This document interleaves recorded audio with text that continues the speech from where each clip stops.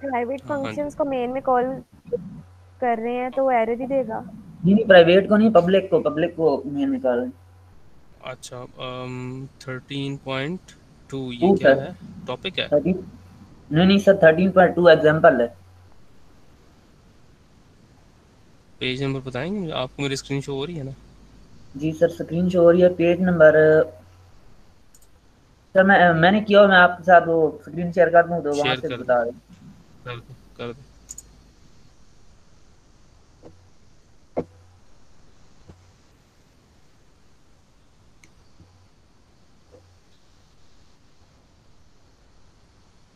Sir वैसे page number 760 है।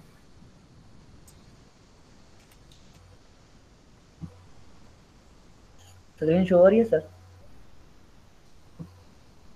हम्म, अभी तक तो नहीं हो रही।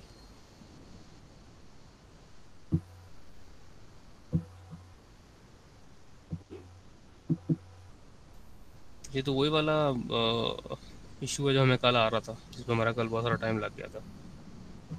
आपको भी वैसे इशू आ रहा होगा। आपकी स्क्रीन नहीं शो हो रही बेटा। सर इधर नहीं हो रहा शेयर क्यों? नहीं वो एक कैंसिल है। शेयर के ऑप्शन में जाके करते हैं तो आगे कैंसिल का आ रहा है आगे शो का नहीं आ रहा ऑप्शन नहीं प्रेजेंट नाउ पे जाओ ना नीचे बार जो होती है उस बार में उसमें उसमें आ, आ रहा है यूआर एंटायर स्क्रीन तो उसमें आगे वो अलाउ मांग रहा है लेकिन अलाउ का ऑप्शन वो उसके क्लिक करें तो वो उसको मान नहीं रहा। अच्छा इसमें जो चलिए मैं आपको बता देता हूँ मैं अपनी स्क्रीन प्रेजेंट करता हूँ। हमें जो इशू आ रहा था कल वो यही था ना कि असल में प्रॉब्लम ये थी। हम्म, आपको स्क्रीन शो होती है।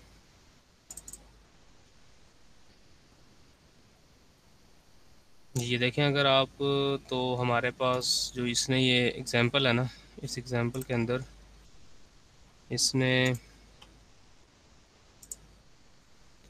जो है ना ये एक स्ट्रिंग इसको इस तरह से पास की हुई है। ठीक है ना? बेसिकली करेक्टर रे तो ये स्ट्रिंग लिटरल है. तो लिटरल आपको पता है कॉन्स्टेंट्स होते हैं. तो जबकि इसका जो कंस्ट्रक्टर है ना इस कॉन्टैक्ट इन्फो का जो कंस्ट्रक्टर है, अगर हम उसको देखें ना तो वो कंस्ट्रक्टर जो है ना, वो तो करेक्टर इनपुट ले रहा है. वो कांस्टेंट करेक्टर नहीं ले रहा, बल्कि करेक्टर पॉइंटर इनपुट ले रहा है. तो आप इधर से भेज कांस्टेंट रहे हो तो इस टाइप में इस मैथ की वजह से ना, वो उसको रेड उसने किया हुआ था. उसका सोल्यूशन हमने ये निकाला था. बुक में उसने लिखे हुए एग्ज़ाम्पल वो एज इट इज़ नहीं चलेगी. अपने एग्ज़ाम्पल को आप इस तरीके से तब्दील कर लोगे यानी कि ये इस तरह से दो करेक्टर रेज बना लोगे नेम और फ़ोन नंबर के लिए उसके बाद फिर उसको सेट करोगे तो फिर वो सही चलेगा। ये इशू था कल जो जो हमें आ रहा था वही आपको आ रहा होगा। चलिए सर फिर देख लेंगे। ये ये यही इशू था ना आपको ये आपका जो है कौन सा वो नहीं सर वो बिल्कुल सिंपल सा है उसमें वो लेंथ और विड्थ मांग रहा है रेक्टेंगल की। तो जब हम उसको कॉल करते हैं मेन में जाके हालाँकि है भी वो हमारा पब्लिक के लिए। तो फिर वो उसमें सेट लेंथ और सब जो फ़ंक्शन है उनको वो एरर दे रहा है सबका आप ना मुझे कोड सेंड करना तो मैं देख लूँगा उसमें कोई इशू कोई इशू होगा उसमें। ठीक है सर मैं आपको हो सकता है कि वो आपके पब्लिक ना हो। एक प्रॉब्ली इशू ये हो सकता है वो पब्लिक ना हो। दूसरा ये हो सकता है हो सकता है इशू कि आपने हेडर फ़ाइल इंक्लूड ना की हो अपने अपने मेन के अंदर। ये देखो ना हमारा जो मेन था इसके अंदर मैंने रेक्टेंगल डॉट एच इंक्लूड की हुई है। ये भी इंक्लूड होना ज़रूरी है। तभी उसको पता लगेगा कि ये रेक्टेंगल कोई क्लास है और उसके अंदर ये ऑब्जेक्ट पड़ा हुआ है। ठीक है सर मैं कर दूँगा। अच्छा तो किसी का कोई और क्वेश्चन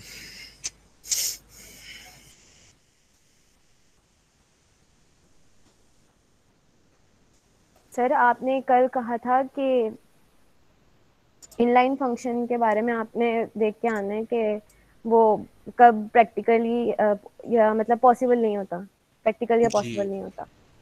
तो सर उसका आंसर मुझे तो यही मिला है कि जब हम लोग जो हैं वो लूप चलाते हैं तो वो फिर उसको इग्नोर कर देते हैं। हाँ क्योंकि देखें ना जब आप लूप चलाएँगे तो लूप के अंदर अगर आप एक इनलाइन फ़ंक्शन जो है वो मिसाल के तौर पर हंड्रेड टाइम्स कॉल कर रहे हैं तो वो जो कोड का साइज़ है ना वो बढ़ जाएगा। मिसाल के तौर पर अगर आपका इनलाइन फ़ंक्शन है ना वो उसके अंदर तीन लाइनें हैं। और आप कोड को सौ बार चला रहे हैं तो वो तीन सौ दफ़ा लाइन्स लिखी जाएँगी थ्री हंड्रेड टाइम्स ठीक है ना? क्योंकि आपको पता है इनलाइन फ़ंक्शन जो होता है वो फ़ंक्शन कॉल नहीं करता बल्कि उसका yes, कोड वहाँ लाके पेस्ट तो कोड का साइज़ बहुत बढ़ जाएगा इसलिए वो लूप केस में इग्नोर कर देता है प्रैक्टिकल सर यानी इनडायरेक्टली सर वो साइज़ पे ही डिपेंड कर रहा है इनडायरेक्टली आ, नहीं वो आ, हाँ जी एक पैरामीटर ये भी है यानी कि वो ये देखता है। लेकिन अब लूप है अब लूप केस में उसको नहीं पता कि लूप कितनी बार चल रहा है। लूप कितनी बार चलेगा? और अगर तो वो वैल्यू हो ना लूप की कांस्टेंट यानी कि लूप ने अगर किसी फिक्स टाइम चलना है तो हो सकता है फिर भी वो लाइन उसको प्लेस कर दे। लेकिन अगर लूप की जो टाइम जितने टाइम लूप में चलना है, वो वेरिएबल है, वो रन टाइम भी यूज़र से कुछ वैल्यू आनी है तो फिर वो ये उसको ऑप्टिमाइज करने के लिए जो है ना, वो इनलाइन कोड को प्लेस नहीं करेगा। वो वो जो है ना फ़ंक्शन को उसकी कॉल ही जो है वो रहने देगा। ताकि हमने असल में उसने डिसाइड करना होता है कि क्या चीज़ बेनिफिशियल है किस सिचुएशन के अंदर? तो सिचुएशन वाइज जो है करता है। क्योंकि देखें ना इनलाइन फ़ंक्शन का फ़ायदा भी है क्या? कि भाई फ़ंक्शन ओवरहेड जो सीपीयू का होता है सीपीयू को जो एक्स्ट्रा कैलकुलेशंस करनी पड़ती हैं, वो नहीं करनी पड़ती इनलाइन फ़ंक्शंस में। वो लाइंस वहीं पे आ जाती हैं। लेकिन उसका साइड इफ़ेक्ट भी है कि साइज़ बढ़ जाता है। तो हमें इसके दरमियान में जो है ना, कोई चीज़ मतलब देखना पड़ता है हमारी सिचुएशन क्या है। उसके मुताबिक दरमियान का रास्ता जो है वो वो ये वो कह लें कि। सर वो कंपाइलर खुद ही देख लेता है। जी जी बिल्कुल बिल्कुल। कंपाइलर इतना इंटेलिजेंट होता है वो खुद ही इस चीज़ को जो है ना एनालाइज करता है और वो उसमें पे करता है। अच्छा तो अभी तक हाँ और, और किसी का कोई क्वेश्चन है? तो अभी तक जो है वो आ, हम लोगों ने क्लासेस के बारे में पढ़ा ऑब्जेक्ट ओरिएंटेड प्रोग्रामिंग क्या होती है क्लासेस कैसे बनाते हैं कंस्ट्रक्टर क्या होता है डिस्ट्रक्टर क्या होता है फ़ंक्शंस क्या होते हैं पब्लिक प्राइवेट स्पेसिफिकेशंस क्या होती हैं, ये सारी चीज़ें हमें पता लग गई। अब वो आपको इनका इस्तेमाल करके दिखाएगा डिफरेंट केस स्टडीज़ के साथ कैसे यूज़ हो रहा है तो वो आपको जो है ना, अब उन टॉपिक्स तक ले जाएगा। अगर आप देखो टॉपिक्स जो हमारे रह गए हैं चैप्टर के थर्टीन है फोर्टीन है फिफ्टीन सिक्सटीन सेवनटीन ये सारे केस स्टडी से रिलेटेड है बेसिकली खाली इसको निकाल के। तो इसमें वो आपको बेसिकली उसकी एप्लीकेशन दिखा रहा है। ठीक है? तो ये थर्टीन पॉइंट थर्टीन जो है हम छोड़ देते हैं ठीक है? इसकी मतलब इसके कोई तो खास तो नहीं बनती क्योंकि इसमें इंटरेस्ट रेट वगैरह इस तरह की चीज़ें हैं तो वो विल स्किप दैट और हम फोर्टीन से कर लेते हैं। जी। सर स्टेल डेटा से रिलेटेड एक क्वेश्चन था जी जी पूछा। सर उसमें वो ये कह रहा है कि जब हम एरिया को किसी वेरिएबल में स्टोर करवाते हैं तो वो उसमें हमें एरर दे देता है कि मतलब स्टेल हो रहा है हमारा डेटा कि वो अपडेट नहीं होता। जब लेंथ अपडेट होती है तो वो हमारा जो थर्ड वेरिएबल हम इंट्रोड्यूस करवाते हैं वो अपडेट नहीं होता।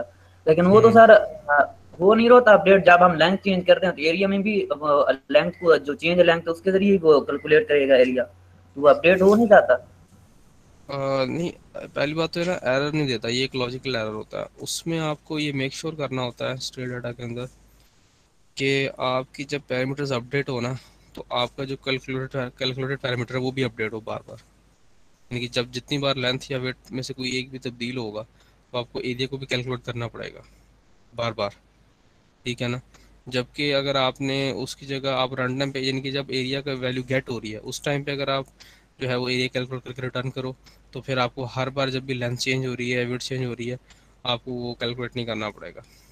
तो स्टेल डाटा के अंदर ये डिपेंड करता है कि आपने इम्प्लीमेंटेशन कैसे की अमूमन जब हम किसी ऐसे वेरिएबल को क्लास का मेंबर बना देते हैं जो कि कैलकुलेटेड फ़ील्ड है कैलकुलेटेड वेरिएबल है तो उससे स्टिल आने का इशू हो सकता है, क्योंकि आप इम्प्लीमेंट कर रहे हो, आपको नहीं पता कि आपने कैसे इम्प्लीमेंट कर दिया। आपने ये मेक श्योर sure किया है कि आपकी जो कैलकुलेटेड फ़ील्ड है, वो बार, जब जब उसके जो डिपेंडेंट पैरामीटर्स हैं, वो अपडेट होते हैं तो साथ वो भी अपडेट होता है कि नहीं होता? जैसे एरिया जो है लेंथ और वेट पर डिपेंड कर रहा कर रहा है। जैसे अगर यूज़र ने लेंथ और वेट जो तब्दील की, आप अपना एरिया भी जो है इसको चेंज करोगे और उसकी वैल्यू को अपडेट करोगे। अगर नहीं करोगे तो आपको जो है ना वो स्टोर डाटा का इशू आ जाएगा। यानी कि जब भी सेट लेंथ कॉल होता है या सेट विथ कॉल होता है, आपको एरिया भी अपडेट करना पड़ेगा एरिया का वेरिएबल भी अपडेट करना पड़ेगा। तो ये एक चीज़ होती है। तो इसलिए इसको अवॉइड करने के लिए हम जो है वो ऐसी फ़ील्ड जो कैलकुलेट होती हैं, उनको रन टाइम पे कैलकुलेट करते हैं, उनको हम क्लास का मेंबर नहीं बनाते। ठीक है सर शुक्रिया समझ आया अच्छा तो हम 13.4 से स्टार्ट करते हैं ठीक है? जी। सर जो एट ऑफ़ फ़ंक्शन है वो कोई स्पेशल फ़ंक्शन है सी प्लस प्लस में? कौन सा? Atof A to F होगा है ना? A to F A to F A to O F है ना? A T O F is sir यही रीडिंग करते हुए बीच में आया था तो मैंने पूछा इन्हीं सेक्शंस में। मुझे अगर एग्जैक्ट लोकेशन बताओगे तो मैं आपको बता सकता हूँ। ए अगर आप उसकी स्पेलिंग लिखो उधर टाइप करो।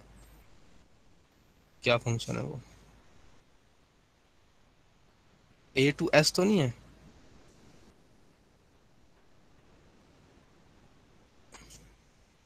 सर एक मिनट में अभी बताती हूँ कहाँ पे है।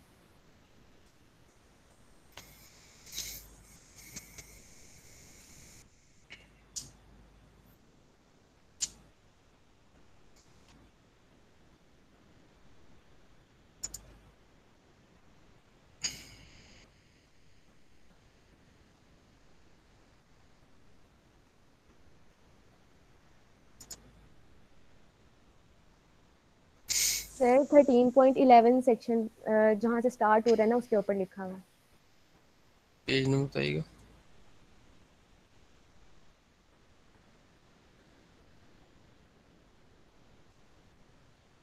Sir seven sixty five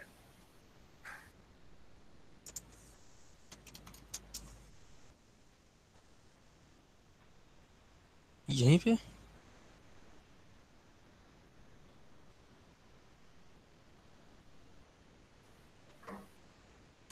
sir अभी तो वही मुझे थर्टीन पॉइंट वन फोर नज़र आ रहा है। जी सर ये। यहाँ पे जो लिखा हुआ है ये हाँ जी और हाँ टू एफ़ हाँ ठीक है ए टू इसका मतलब होता है आस्की टू फ्लोट हमारे पास जो स्ट्रिंग है ना स्ट्रिंग की क्लास उसमें बहुत सारे फ़ंक्शन हैं बड़े यूजफुल हैं। ये क्या करता है कि ये आस्की कोड जो है ना इनकी देखो ना C dot C underscore S T R ये जो फ़ंक्शन है ना C S T R C की टाइप क्या है यहाँ पे? स्ट्रिंग है ना। स्ट्रिंग की क्लास के अंदर एक फ़ंक्शन है जिसका नाम है C underscore S T R जो कि इस यानी कि ये पता क्या रिटर्न करता है? ये इसको जो है ना यानी कि इस स्ट्रिंग को ये करेक्टर्स में तब्दील कर देता है। फिर हमारे पास ए टू एफ़ फ़ंक्शन है।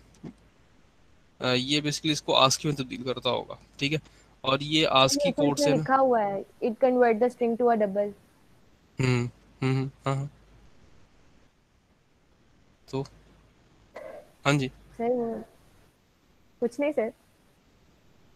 हाँ जी देखिए the first version of the function accepts a double argument assign it to the cost the second version of the accept the string object this could be used where you have cost of item in string object this function call atof function convert the string to a double तो अगर आप वैसे पूछो तो basically ये जो है ना ये चीज़ ए टू एफ़ का फ़ंक्शन वो एक आस वैल्यू को ज़्यादा पता आस्की वैल्यू जो है वो स्ट्रिंग में होगी। स्ट्रिंग की जो यानी कि जो करेक्टर्स होते हैं एज आस्की वैल्यू सेव होता है आस्की कोड होता है तो वो आस्की को जो है ना फ्लोट में फिल कर देगा। यानी कि वो अगर आपने पास आपके पास करेक्टर में फोर्टी लिखा हुआ है तो वो फ्लोट में फोर्टी कन्वर्ट कर देगा। इन दोनों में फ़र्क होता है या हमने बहुत पहले पढ़ा था कि करेक्टर फोर और इंटीजर फोर या डबल फोर में फ़र्क होता है।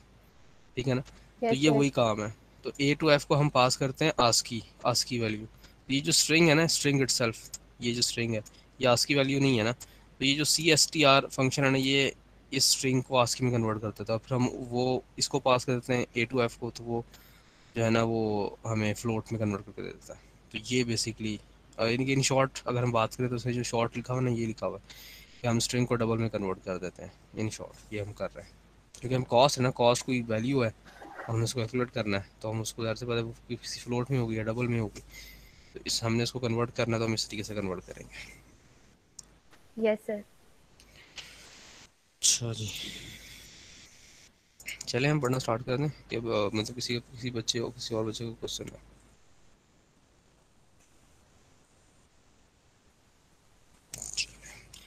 तो हमारे पास एक जो है ना वो प्रॉब्लम है कि डाइस जो है डाइस उसको उसको आपने सिमुलेट करना है, यानी कि डाइस को जो हम रोल करते हैं तो उसका कोई भी फेस आ सकता है। तो उसको उसको इस, यानी कि इस प्रॉब्लम को हमने सॉल्व करना है तो हम क्लासेस के ज़रिए कैसे करेंगे? तो ये वो जो है ना, वो आपको इसके अंदर बताएगा, ठीक है?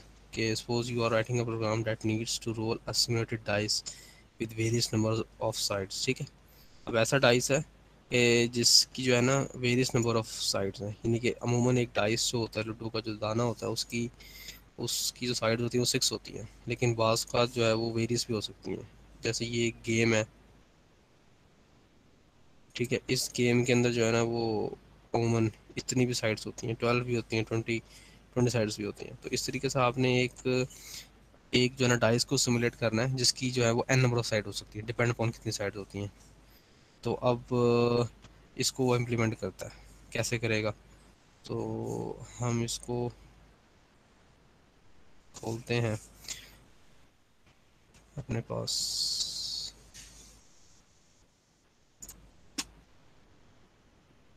इसको डिलीट कर देते हैं। और कॉन्टैक्ट इन्फो इसको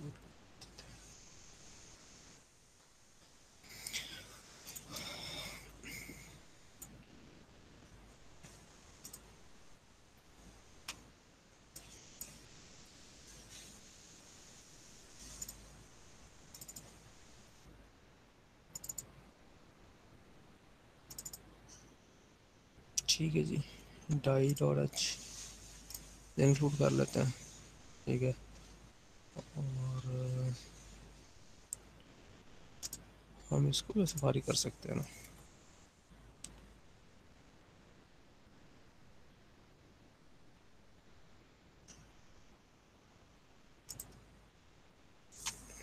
एक मिनट।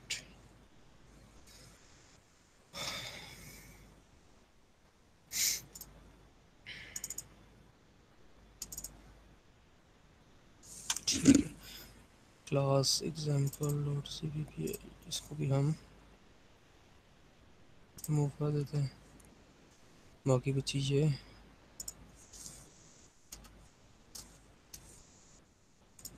इसको भी हम रिमूव कर देते हैं।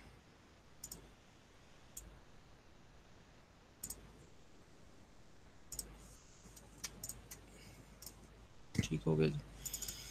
तो ये क्लास का डिक्लेरेशन है। ठीक है। इसके बारे में तो पहले ही जानते हैं आप, ठीक है? तो क्लास जो है उसका नाम है डाई और इसमें हमारे पास दो पैरामीटर्स हैं और हमारे पास ये कुछ चार फ़ंक्शंस हैं, ठीक है? जैसे पता है डाइस जो है, अब डाइस इससे रिलेटेड क्या क्या चीज़ें होती हैं? उसकी साइड्स कितनी है नंबर ऑफ़ साइड्स ठीक है? और उसकी वैल्यू कौन सी जब आपको सिमुलेट करोगे रोल करोगे डाइस को तो क्या वैल्यू आई है तो वैल्यू वाला वेरिएबल वैल्यू होल्ड कर रहा होगा जब आप उसको रोल करोगे और कितनी साइड्स हैं वो इस साइड्स के वेरिएबल में पड़ी होंगी, ठीक है? और दोनों टीचर्स होते हैं, जैसे पॉइंट्स में तो नहीं हो सकता। और ये हमारे पास एक फ़ंक्शन है। इसको हम क्या बोलते हैं? बताएँ जी आप। कंस्ट्रक्टर कंस्ट्रक्टर कौन सा?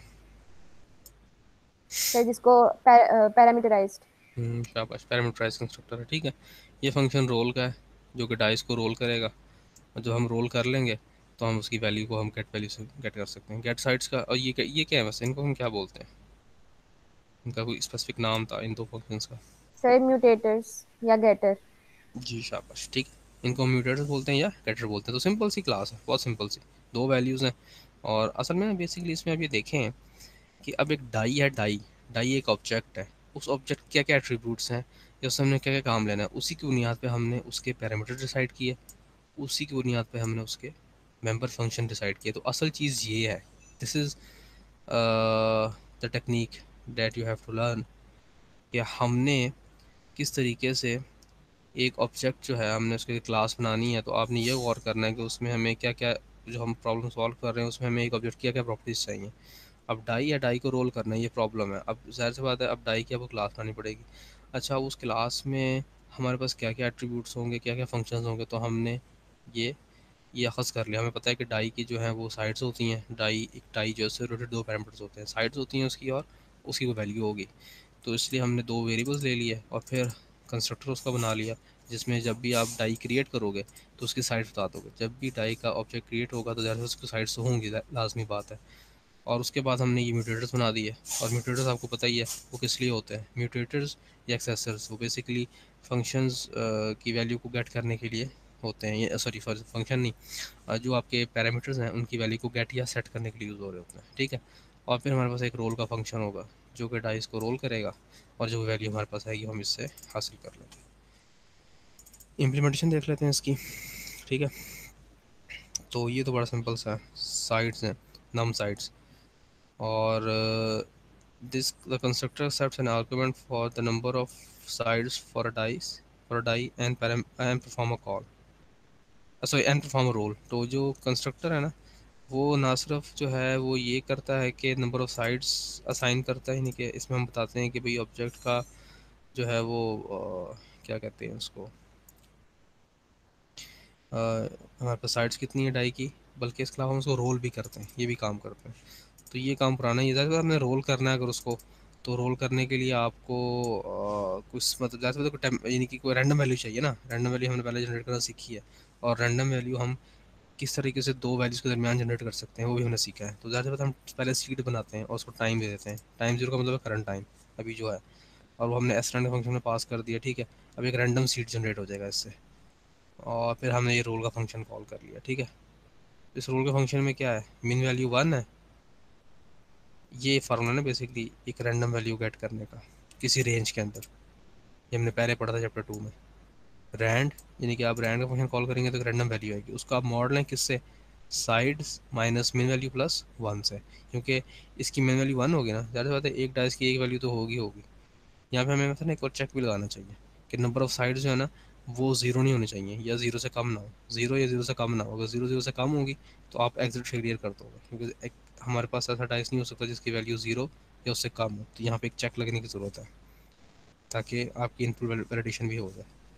तो मेन वैल्यू जो है वो वन है ठीक है? सर और जब आप जी। सर कहाँ पे आपने कहा है?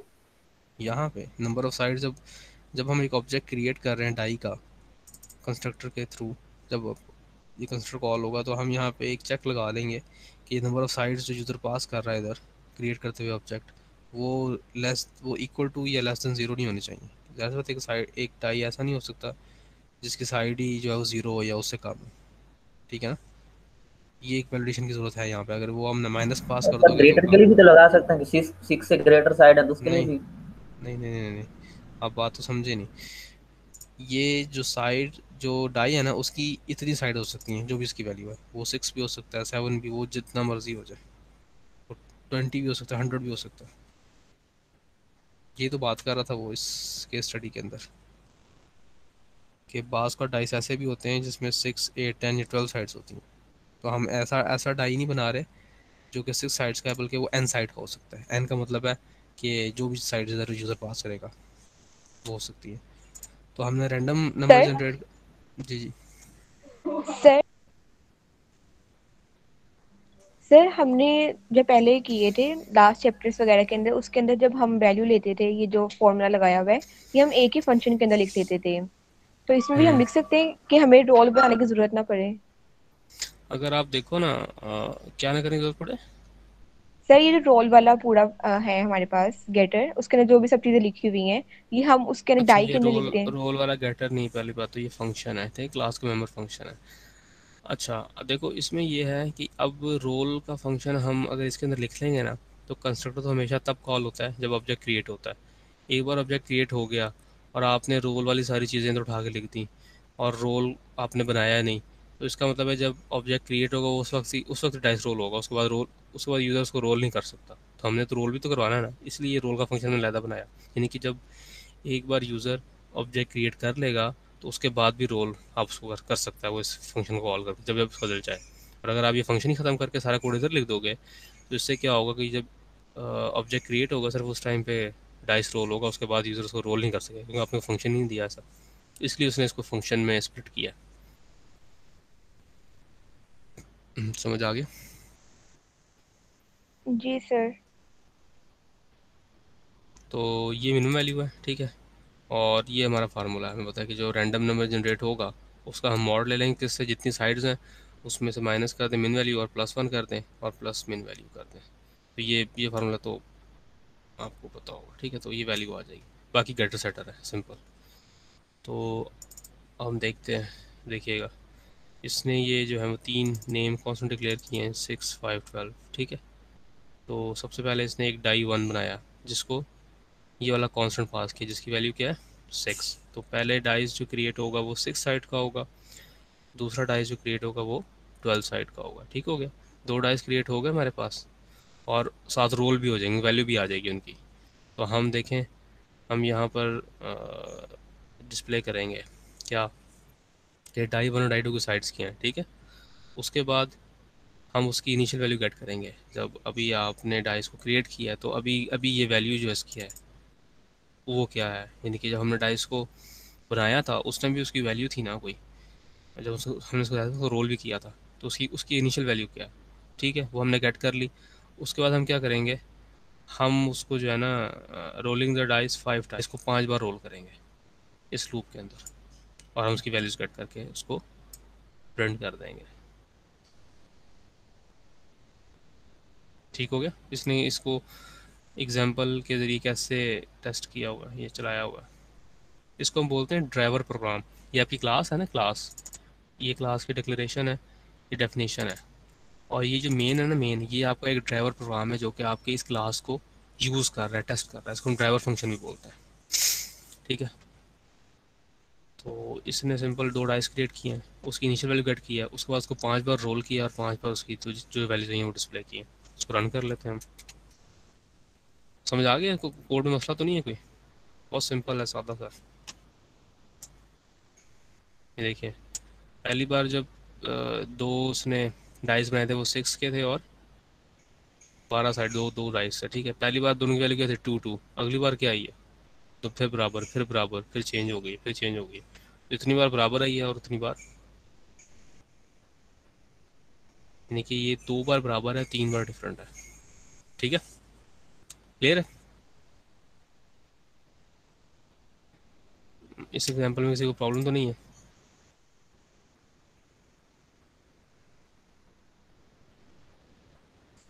बताएँ जी। अच्छा जल्दी से एक सवाल का जवाब दीजिए फिर। कि ये जो डाई है हमने यानी कि इस क्लास में कंस्ट्रक्टर के सीक्वेंस से कॉल होगा और डिस्ट्रक्टर के सीक्वेंस से कॉल होगा। कितनी बार कंस्ट्रक्टर कॉल होगा कितनी बार डिस्ट्रक्टर कॉल होगा ये बताएँ।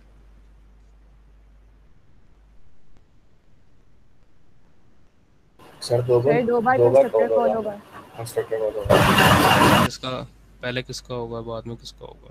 डाई वन पहले डाई वन का होगा फिर डाई टू का होगा। क्या? कंस्ट्रक्टर कॉल डिस्ट्रक्टर एक दफ़ा कॉल होगा। डिस्ट्रक्टर कितनी बार कॉल होगा? एक दफ़ा। दो दफ़ा होगा ना। आपने दो ऑब्जेक्ट क्रिएट किए हैं तो दो दो बार कंस्ट्रक्टर कॉल हुआ है।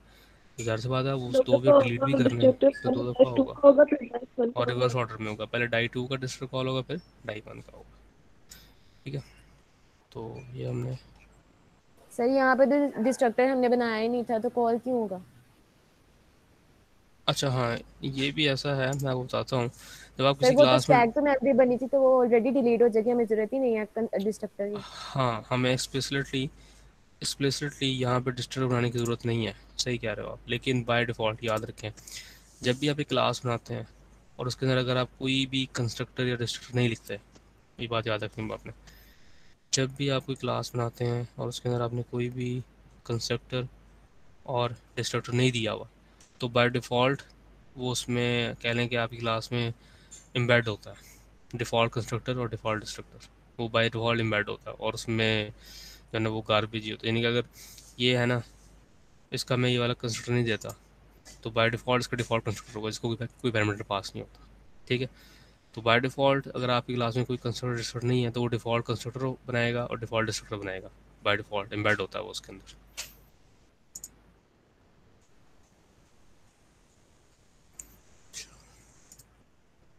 ठीक है, ये हमारे पास प्रोग्राम था। और एक और हम करते हैं, जी, ये ज़रा जो है ना वो अच्छी एग्जांपल है।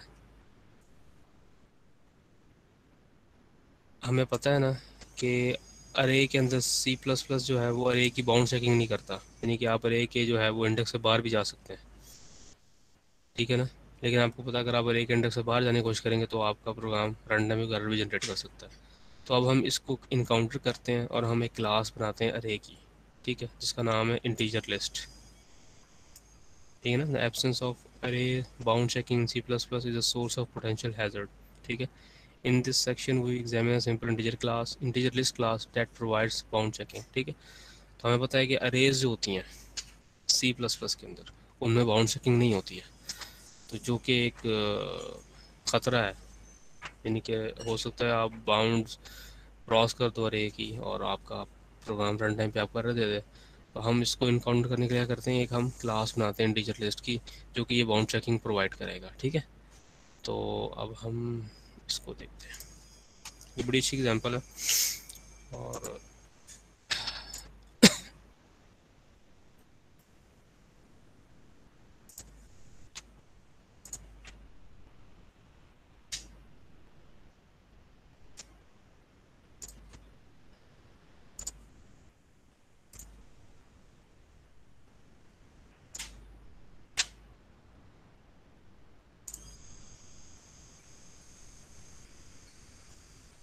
इसका ड्राइवर प्रोग्राम कौन सा? थर्टीन सेवनटीन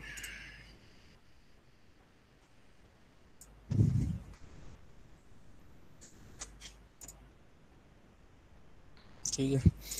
अब देखते हैं। अब आपने बेसिकली एक अरे बनानी है ना, जो कि इंटीजर्स को होल्ड कर रही होगी। तो उससे रिलेटेड क्या क्या चीज़ें हो सकती हैं?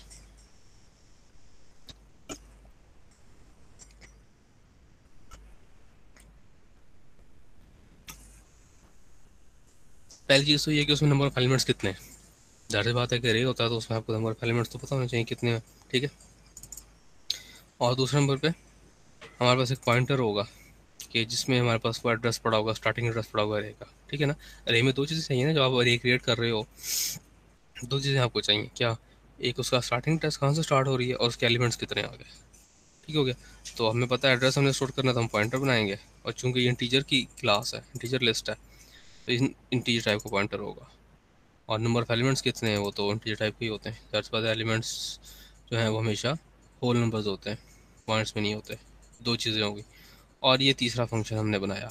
क्या करेगा? जो कि वैलिडेट करेगा कि आप अरे का कोई कॉल कर रहे हो। सॉरी अरे के किसी इंडेक्स को एक्सेस करने की कोशिश कर रहे हो। क्या वो इंडेक्स वैलिड भी है कि नहीं है? यानी कि वो रेंज के अंदर है कि नहीं है? समझ आ रही बात? ये तीन ती, ये तीन चीज़ें जो है प्राइवेट हैं इसमें एक फ़ंक्शन है और दो चीज़ें हैं दो एलिमेंट्स हैं। तो बेसिकली एक अरे जी जी। नंबर ऑफ़ एलिमेंट्स यहाँ पे साइज़ को शो कर रहे हैं अरे की। जी। ओके तो जो अरे की हमारे पास क्लास है तो हमने अरे की क्लास बनाई तो अरे का ऑब्जेक्ट बनाया तो हमने ये एनालाइज किया कि अरे के ऑब्जेक्ट में दो चीज़ें हमारे लिए इंपॉर्टेंट होती हैं। तो हमने दो एट्रीब्यूट बना दिए, क्या एक किया उसका स्टार्टिंग एड्रेस तो उसके लिए हमने एक पॉइंटर बना दिया, जो उसका स्टार्टिंग एड्रेस को होल्ड करेगा। और दूसरा, हमें पता है कि अरे से रिलेटेड दूसरी इंपॉर्टेंट चीज़ होती है, उसका उसका साइज़ या उसमें नंबर ऑफ़ एलिमेंट्स कितने हैं, ठीक है? उसके लिए हमने एक वेरिएबल बना दिया, ठीक हो गया? उसके बाद हमने जो है ना, वो इज़ वैलिड का एक फ़ंक्शन बनाया, जो कि प्राइवेट है जो कि ये चेक करेगा बेसिकली कि अगर कोई बंदा आपकी इस क्लास के ऑब्जेक्ट को बनाकर उसका कोई इंडेक्स क्रिएट एक्सेस करने की कोशिश करता है, यानी कि इस अरे का आप किसी भी इंडेक्स की वैल्यू को एक्सेस करते हो, क्या वो इंडेक्स वैलिड भी है कि नहीं? यानी कि बाउंड चेकिंग हम यहाँ पर लगाएँगे इसके अंदर। ठीक है? इस फ़ंक्शन को इम्प्लीमेंट करें उसको हमने प्राइवेट बनाया कि इसको कोई बाहर से एक्सेस नहीं कर सकता। इसको हमारी क्लास के जो फ़ंक्शन हैं वो एक्सेस करेंगे। बाहर से इसको हमने एक्सेस नहीं करने देना। ठीक है? क्योंकि इसकी ज़रूरत भी नहीं है। तो हमारे पास देखिए जब भी पॉइंटर्स होते हैं तो एक्सप्रेसलिटी आपको डिस्ट्रक्टर मेंशन करना पड़ता है। तो चूँकि अब पॉइंटर है और इसको कोई एड्रेस असाइन होना है ज़्यादा बात एड्रेस रन टाइम पे असाइन होना है तो वो कोई हीप पे बन रहा होगा मोस्ट प्रॉबली तो हमने कंस्ट्रक्टर भी लिखा है और डिस्ट्रक्टर भी लिखा है। तो रूल ऑफ़ थम ये है कि जब भी आपकी क्लास में पॉइंटर होगा ना तो आपने डिस्ट्रक्टर तो लाजमी लिखना है। इन केस कि आप जो है वो पॉइंटर के ज़रिए कोई मेमोरी एलिमेंट कर रहे हो। यानी कि अगर मैं दूसरा प्रोसेसली बोलूँ जब भी आप क्लास के कंस्ट्रक्टर के अंदर कोई हीप पे वैल्यू जो है वो क्रिएट कर रहे हो, ठीक है? जो कि इस क्लास के एट्रीब्यूट को साइन हो रही है तो आपने डिस्ट्रक्टर क्लास में लिखना था कि उसको डिलीट भी करो, नहीं तो फिर आपका मेमोरी लीक होगा। तो कंस्ट्रक्टर डिस्ट्रक्टर ठीक है? इस कंस्ट्रक्टर में हमने एक इंटीजर ले लिया। बेसिकली ये क्या है? ये नंबर ऑफ़ एलिमेंट्स है। यानी कि जब भी आपकी इंटीजर लिस्ट का एक ऑब्जेक्ट बनेगा तो हम उसको नंबर ऑफ़ एलिमेंट्स पास करेंगे। बताएँगे भाई कि इस अरे की जो लिस्ट है इंटीजर लिस्ट है, इसमें कितने एलिमेंट्स हैं, ठीक है? और ये हमारे पास सेटर है, ये गेटर है। यानी कि ये क्या करेगा? स्पेसिफिक एलिमेंट की वैल्यू को सेट कर देगा। ये स्पेसिफिक एलिमेंट की वैल्यू कट कर देगा। हम अरे होता है ना अरे अरे बना दी अरे के टू इंडेक्स पे वैल्यू को सेट कर दो। यानी कि ये अरे के सेकंड इंडेक्स पे जो सेकंड इंडेक्स है, उस पर ये वैल्यू डाल दो, या अरे के थर्ड इंडेक्स ये वैल्यू कट कर लो। तो ये वो फ़ंक्शन है। ये किसी स्पेसिफिक इंडेक्स पे एलिमेंट की वैल्यू को सेट कर देगा। और ये स्पेसिफिक इंडेक्स एलिमेंट की वैल्यू को गेट कर लेगा। बस हमने यहाँ पे बाउंड चेकिंग करनी है। क्या? जब आप सेट एलिमेंट का फ़ंक्शन कॉल करोगे, हम ये चेक करेंगे कि जो इंडेक्स पास किया गया है, आया वो वैलिड भी है कि नहीं है? और जब आप गेट एलिमेंट का फ़ंक्शन कॉल करोगे तो हम ये चेक करेंगे आया वो इंडेक्स वैलिड भी है कि नहीं है। ठीक हो गया? अब हम इसकी इम्प्लीमेंटेशन देख लेते हैं। तो ये है हमारे पास कंस्ट्रक्टर तो ये हमने एक एरिया बना दी। जो हमें साइज़ पास हुआ था इधर हीप के ऊपर। और ये हमने साइज़ इसको साइन कर दिया। और हमने क्या किया? अरे तो बना दी साथ में, हर इंडेक्स को ज़ीरो से इनिशलाइज भी कर दिया। क्योंकि हमने हीप पे अरे तो क्रिएट की, उसको, उसमें हमने डमी या गार्बेज पड़ा रहने नहीं दिया हमने ज़ीरो से इनिशलाइज भी कर दिया साथ में। ठीक है? और ये सिंपल उसका डिस्ट्रक्टर है, जो आपने हीप पे मेमोरी लोकेट की थी कंस्ट्रक्टर में डिस्ट्रक्टर उसको डिलीट कर देते हैं। अब ये वैलिड फंक ये वो अगला प्राइवेट फ़ंक्शन है, जिसको हम एलिमेंट पास करते हैं और जो कि ये बताता है, ये फ़ंक्शन ये बताता है, इसको जो एलिमेंट पास किया, जो इंडेक्स पास किया जाता है, आया वो एलिमेंट वैलिड भी है कि नहीं है? यानी कि वो इंडेक्स के बाउंड के अंदर भी वो अरे के बाउंड के अंदर है भी कि नहीं है? तो ये हमने एक वेरिएबल ले लिया स्टेटस ठीक है? और इसमें हम स्टेटस सेट कर देंगे। और एलिमेंट जो है, जो एलिमेंट पास किया गया है वो ज़ीरो से कम है, या फिर वो नंबर ऑफ़ एलिमेंट से बढ़ गया या उसके इक्वल है तो ज़्यादा से ज़्यादा वो आउट ऑफ़ बाउंड चीज़ है, क्योंकि इंडेक्स कभी नेगेटिव नहीं हो सकता और इंडेक्स कभी भी जो है वो साइज़ के इक्वल या उससे बड़ा नहीं हो सकता। तो हमने उसके मुताबिक स्टेटस सेट कर दिया और स्टेटस रिटर्न कर दिया। आप स्टेटस भी सेट कर सकते हो या इधर से आप इधर से रिटर्न भी कर सकते हो इट्स अप टू यू ठीक है? और ये हमारे पास सेट एलिमेंट का फ़ंक्शन है, जिसको दो पैरामीटर पास होते हैं कि किस एलिमेंट की कौन, क्या वैल्यू सेट करनी है। इसको एलिमेंट पास होगा। अब देखें, जब भी एलिमेंट इसको पास हुआ, हम पहले चेक करेंगे क्या जो एलिमेंट जिसकी वैल्यू सेट करने जा रहा है, वो वैलिड भी है कि नहीं है? ये फ़ंक्शन हमने कॉल किया। इंटरनली कॉल किया प्राइवेट फ़ंक्शन है ये। पब्लिक नहीं रखा हमने इसको। क्योंकि इसकी पब्लिक ज़रूरत नहीं है। इसको हमने अपने इंटरनल यूज़ के लिए रखना है, ठीक है ना? तो हम हर वो चीज़ छुपा देते हैं आउटसाइड द क्लास जिसकी हमने इंटरनल जो है वो ज़रूरत हो, जिसकी बाहर कोई ज़रूरत नहीं है। तो इस वैलिड के फ़ंक्शन की बाहर कोई ज़रूरत नहीं है इंटरनल ज़रूरत है, ठीक है? तो जो भी एलिमेंट इसको पास किया गया, पहले हमने चेक किया, क्या ये वैलिड एलिमेंट है कि नहीं है? अगर तो वैलिड है, ये अगर कंडीशन ट्रू हो जाती है तो हम वैलिड सेट कर देंगे। अदरवाइज़ हम कहेंगे, भाई इनवैलिड सब्सक्रिप्ट और प्रोग्राम को टर्मिनेट कर देंगे। सेम अगर हमें वैल्यू कट करनी है तो क्या करोगे? चेक करोगे वैलिड है कि नहीं है। अगर वैलिड है ट्रू हो जाती है तो हम ये रिटर्न कर देंगे। अदरवाइज़ फेलियर दे देंगे। ठीक है? इसको देख लें। कोई मसला या कोई इशू तो नहीं है।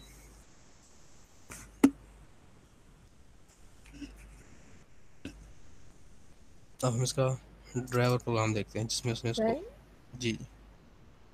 सर यहाँ पे जहाँ पे इस वैलिड के आगे उन्होंने एलिमेंट आर्गुमेंट को पास किया हुआ है तो यहाँ पे हम स्टेटस नहीं पास कर सकते। कि अगर वो ट्रू हो जाता है देन वो आगे चले। स्टेटस ट्रू और फॉल्स रिटर्न हो रहा है ना।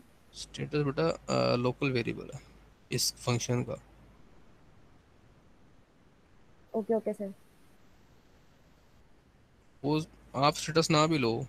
सिंपल ये कंडीशन लिखी ना और इधर से कर दो रिटर्न फॉल्स नहीं तो फिर रिटर्न ट्रू कर दो। ख़त्म काम ही ख़त्म। इसने लंबा सारा बना दिया हुआ इसकी ज़रूरत नहीं थी। ज़्यादा आसान काम ये है कि आपकी कंडीशन अगर ट्रू होती है तो इधर से रिटर्न फॉल्स कर दो और नीचे लिख दो रिटर्न ट्रू बस दैट्स इट यही काफ़ी था। इसका ये बोलते हैं ड्राइवर प्रोग्राम जो कि आपकी क्लास को टेस्ट करेगा। तो हमने सबसे पहले साइज़ डिक्लेयर किया तो ये अब लिस्ट बनेगी ट्वेंटी साइज़ की, यानी कि ट्वेंटी अरे साइज़ की एक अरे जो इंटीजर्स की, वो बन जाएगी, ठीक है?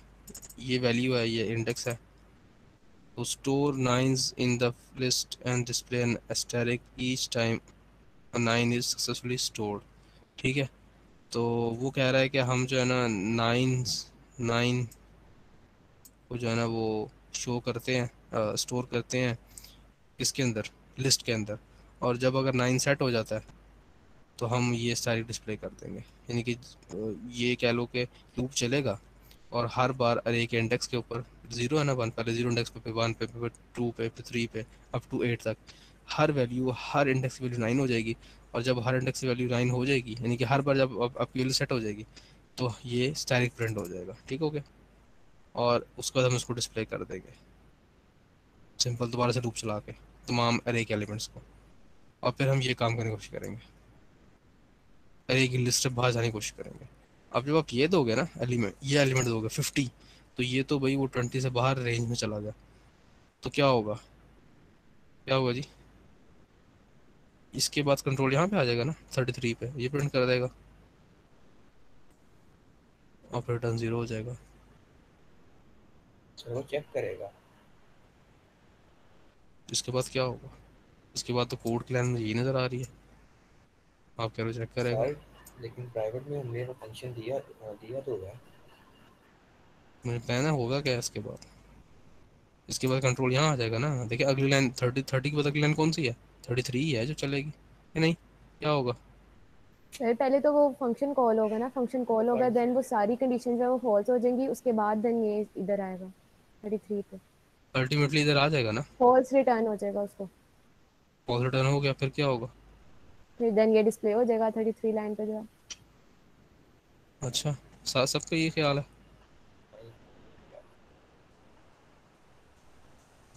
सबका ये ख्याल है? चले जी मैं सॉल्यूशन का चला जाता हूँ। आप भी ये ख्याल है? नहीं। अब क्या ख्याल है? प्रोग्राम प्रोग्राम ही नहीं चलाएगा एग्जिट फेलियर हो जाएगा। जी हाँ जी। मैं ये तो देखना चाह रहा था कि आप लोग जाग रहे हैं कि सो रहे हैं? ज़्यादा से ज़्यादा इधर तो आएगा नहीं ना, इधर क्यों आएगा? आपने यहाँ पे एग्जिट किया हुआ है, ये देखें जी। एल्स केस में एग्जिट किया, दोनों में। एल्स केस में एग्जिट किया हुआ है एग्जिट हो जाएगा, यहाँ पे तो आएगा ही। चले जी। ठीक है जी। नाइन स्टार प्रिंट हुए और sorry twenty twenty stars print हुए और ट्वेंटी बार नाइन सेट हो गया। और आ गया ना इनवैलिड स्क्रिप्ट इस लाइन के ऊपर। और बस उसके बाद ख़त्म हो गया। ठीक हो गया। तो हमने ये रे की क्लास बना ली। कैसी क्लास बनाई?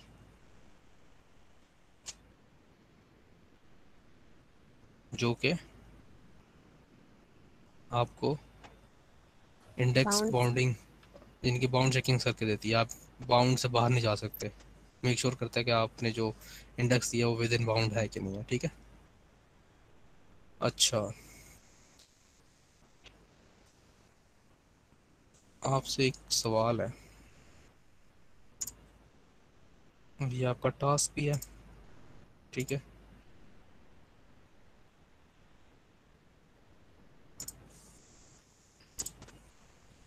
सवाल ये है कि क्या ये अच्छा हो? मैं ना इसको ऐसे कॉल कर रहा हूँ। सेट एलिमेंट को इस तरह कॉल कर रहा हूँ। ये नंबर ना नंबर इस इस क्लास जो है इंटीजर लिस्ट इसके ऑब्जेक्ट का नाम क्या है? नंबर्स इसको मैं इस तरीके से कॉल कर रहा हूँ। वैल्यूज़ मैंने सेट करनी है तो इस तरीके से सेट एलिमेंट कर रहा हूँ गेट एलिमेंट कर रहा हूँ। क्या ही बेहतर हो, इसकी जगह मैं इस तरह कर लूँ। नंबर्स और ये जो है ना मैं वो पास कर दूँ एक्स यानी कि इधर मैं वैल्यू सेट कर तो मैं ऐसे क्यों ऐसे करूँ जैसा मेरे में करते होते हैं।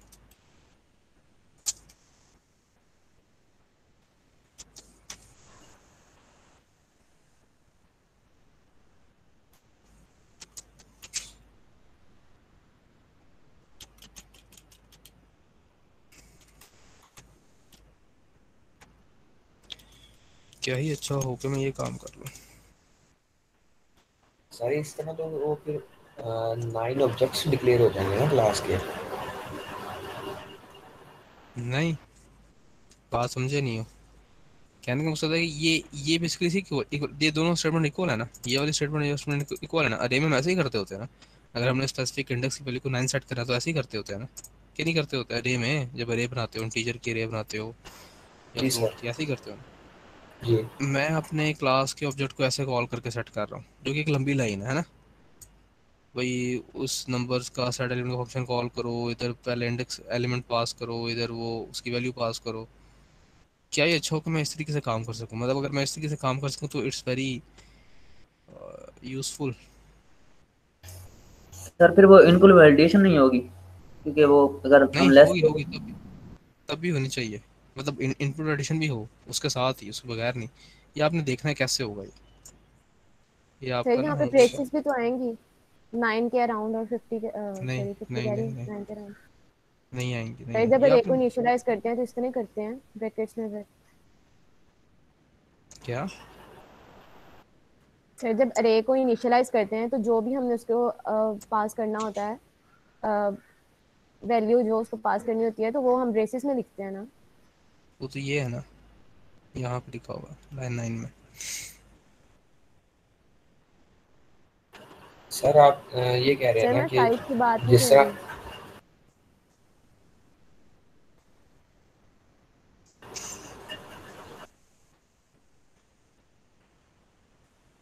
जी जी बोलें। आप ये कह रहे हैं ना कि जिस तरह हम पीछे अरे के अंदर एक स्पेसिफिक इंडेक्स था तो उसको एक स्पेसिफिक जो वैल्यू थी वो असाइन ये करने जैसे ये देखो ना ये ये मैं इस तरह कह रहा हूँ। जी। क्या अच्छा हो मैं अपने क्लास के ऑब्जेक्ट के साथ ये काम कर सकूँ ना? देखो ये अरे अब लिस्ट क्या इंटीजर टाइप की ना तो हम अरे से ऐसे रिटर्न करते हैं। कोई कोई स्पेसिफिक एलिमेंट की वैल्यू हमने गेट करनी तो ऐसे ही करेंगे ना अरे से। और इसी तरीके से उसकी वैल्यू सेट करेंगे। जो मैंने सेम चीज़ यहाँ पे लिखी है ना। क्या ये अच्छा हो मैं अपने क्लास के ऑब्जेक्ट के साथ ऐसे काम कर सकूँ? ऐसे ऐसे ऐसे। ये आपने देखना कैसे होगा? इस पर रिसर्च करनी है रिसर्च करनी है।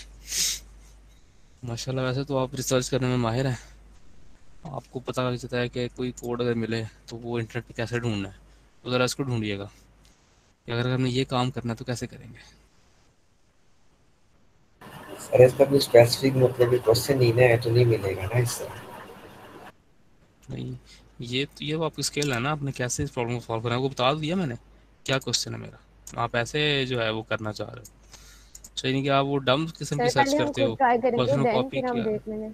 क्वेश्चन को कॉपी किया और खुद खुद ट्राई नहीं कर सकोगे। खुद अभी आपने वो कुछ पढ़ी नहीं है लेकिन आप सर्च तो ज़रूर कर सकते हो। तो आप इसको मतलब सर्च ऐसे करते हुए कंट्रोल क्वेश्चन कॉपी किया गूगल पे पेस्ट किया जो उनका आंसर आ गया तो वो जो है वो वो उसका सोल्यूशन है ना? इसका सोल्यूशन फाइंड आउट करें ना ज़रा। ये कैसे होगा? पॉसिबल ठीक है? जी सर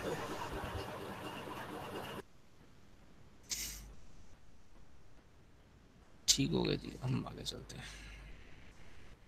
यू एम एल अच्छा यू एम एल का मतलब होता है यूनिफाइड मॉडलिंग लैंग्वेज तो ये एक लैंग्वेज है जिसके ज़रिए हम क्लासेस को ग्राफिकल रिप्रेजेंट करते हैं यानी कि ऑब्जेक्ट ओरिएंटेड सिस्टम ठीक है? या ऑब्जेक्ट ओरिएंटेड डिज़ाइन उसके अंदर क्या होती हैं? क्लासेस होती हैं। हमें पता है कि डिफरेंट ऑब्जेक्ट्स होते हैं। वो ऑब्जेक्ट्स आपस में कोलैबोरेट करके आपको आपकी प्रॉब्लम सॉल्व करके देते हैं। तो ऑब्जेक्ट ओरिएंटेड सिस्टम के अंदर हम जो हैं वो आ, उसको ग्राफिकल कैसे प्रेजेंट करते हैं तो उसको भी अमल करते हैं। बिल्कुल इस तरह जैसे आपकी एक बिल्डिंग होती है तो उस नक्शा क्या होता है? उसकी ग्राफिकल रिप्रेजेंटेशन होती है। लाइंस लगा के।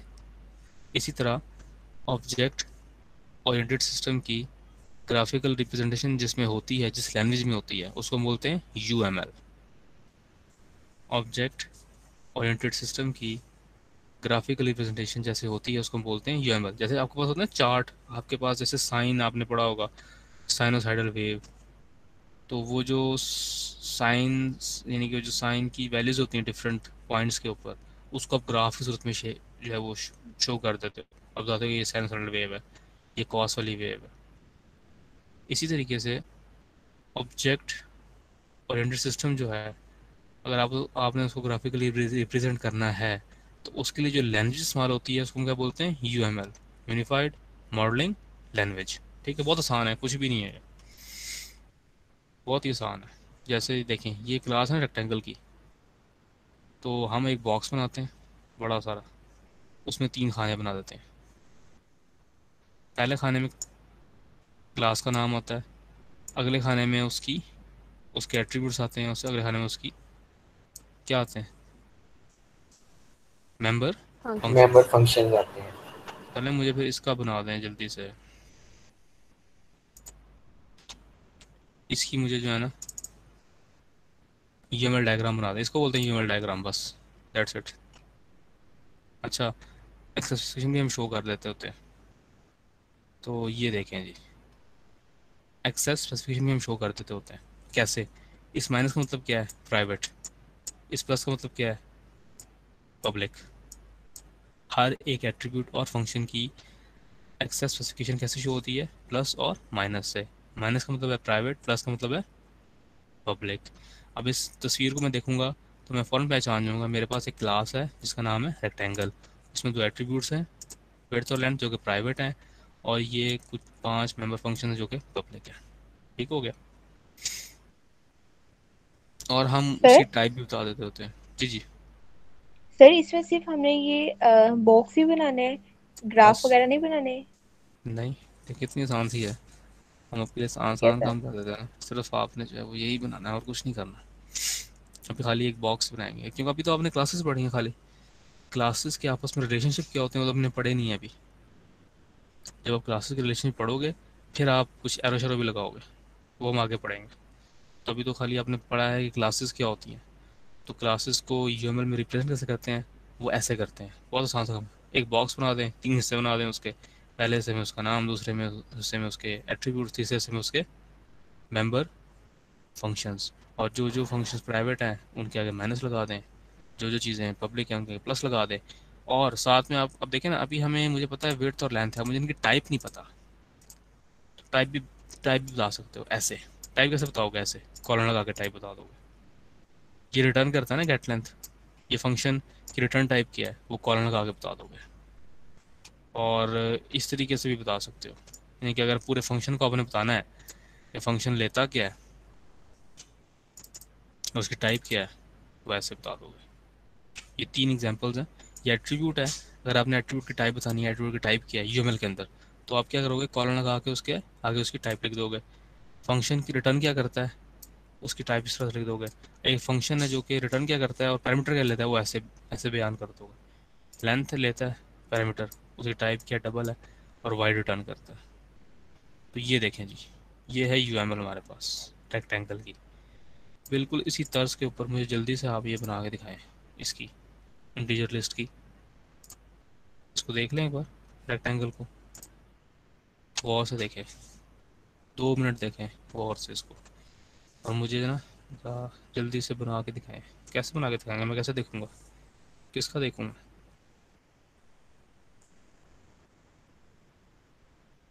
भी टास्क है।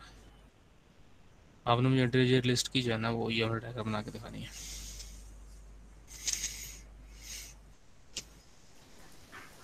कोई एक बच्चा कॉपी बना के जल्दी से ग्रुप पे शेयर कर दे, मैं देख लेता हूँ, कोई भी एक बच्चा। मोबाइल से कोई काम कर ले, लड़कियों से कोई काम कर ले। इंटीजर लिस्ट की।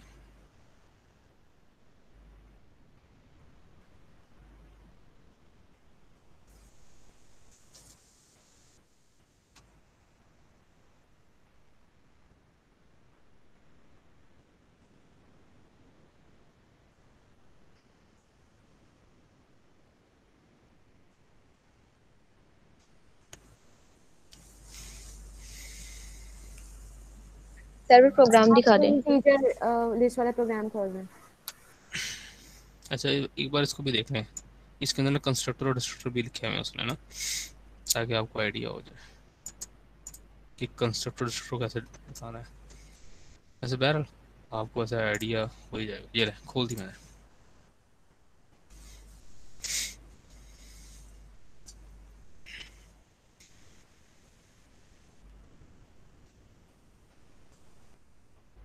सर ये पॉइंटर्स का बता स्टार दें। लगा दें स्टार लगा दें डबल लगा के स्टार लगा दें। जिस तरह से इस तरीके से करते हैं पॉइंटर्स के चक्कर में। जैसे ये लिस्ट है ना तो इस तरह से कर दें ठीक है?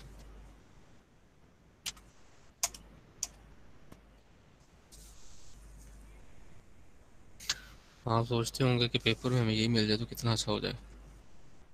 है ना? आप लोगों की तरफ़ से रिक्वेस्ट आई ना कि आप लोगों ने कहा कि सर पेपर में जो है ना वो डेफिनेशंस पूछ लें, वो शॉर्ट क्वेश्चन के एमसीक्यूज पूछ लें। तो मैं सोच रहा था ये आपने क्या बात की? मतलब आपका एक टास्क है कि आपने जो है वो मतलब आप जो कोर्स पढ़ रहे हैं वो कंप्यूटर प्रोग्रामिंग है, ठीक है ना? तो आपको प्रोग्राम करना आना चाहिए, ठीक है ना? तो वो चीज़ें तो मैटर नहीं करती हैं यहाँ पे। तो एक्चुअली जो आपके कोर्स का ऑब्जेक्टिव है वो यही है कि आप you should be able to code you should be able to solve a problem using C plus plus that is the main goal तो इस पर फोकस किया करो आप लोग। किसी भी चीज़ का जो ऑब्जेक्टिव होता है ना, उसको मद्देनजर रखते हुए उसी डायरेक्शन में मेहनत किया करो। फिर आपको सही फ़ायदा होगा।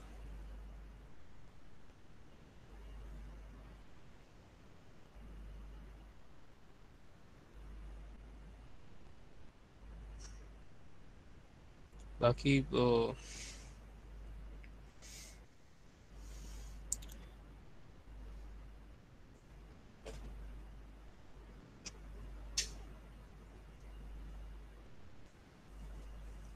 किसी ने कर लिया हो।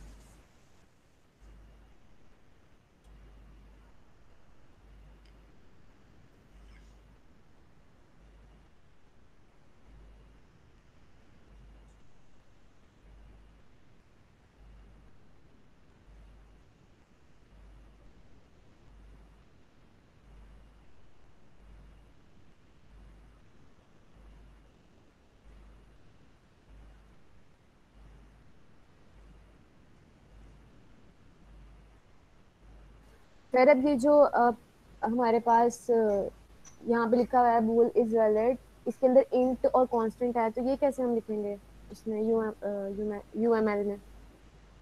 इसको रहने दें इसकी ज़रूरत नहीं होती।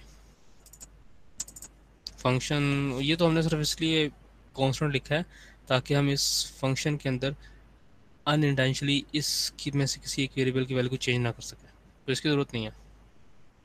और सर वो आर्गुमेंट जो इंट वाला पास किया हुआ है। ये तो लिखना है ना आपने। अच्छा इसकी इसकी इसकी आप, वो क्या होगी? इसका वेरिएबल का नाम क्या होगा? ये ये जानना चाह रहे हैं। वो, ये तो ये तो बताएँगे ना आप, ये तो हमने इधर भी देखा। इसने बताया हुआ है, इस तरीके से। ये इस डिस्क्रिप्शन वेरिएबल का नाम है, इसकी टाइप ये है। तो इधर इन टाइप है वेरिएबल का नाम अपनी मर्ज़ी, जो मर्ज़ी रखना है इसने कौन सा लिया हुआ है? वो देख लेते हैं। एलिमेंट लिया हुआ है इसने। एलिमेंट। एलिमेंट है और वैल्यू है दो ही वेरिएबल्स हैं इस तरीके से। इधर एलिमेंट है उधर वैल्यूज़ है।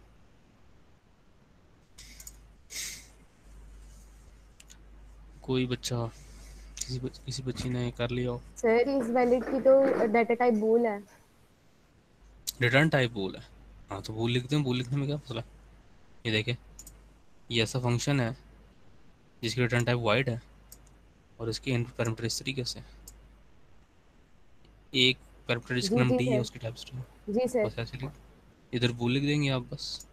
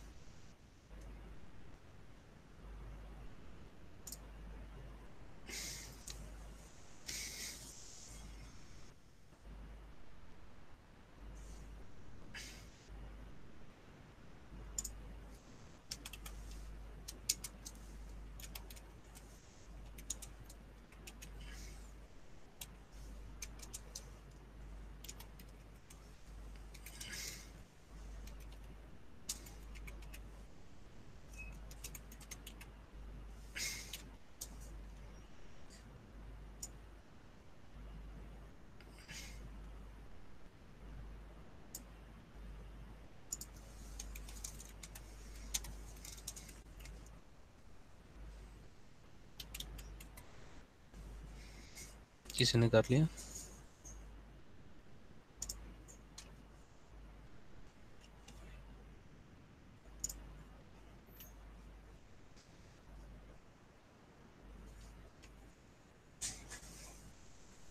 चले मैं शेयर कर दूँ फिर।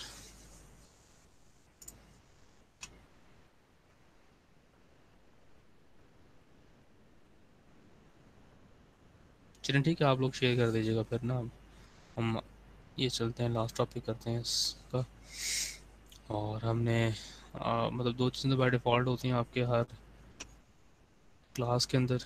एक check point question number second जब चैप्टर ख़त्म हो जाता है ये चैप्टर के साथ ही जितने भी आपके पास प्रोग्रामिंग चैलेंजेस हैं वो आपके होम टास्क ही होते हैं। ठीक है?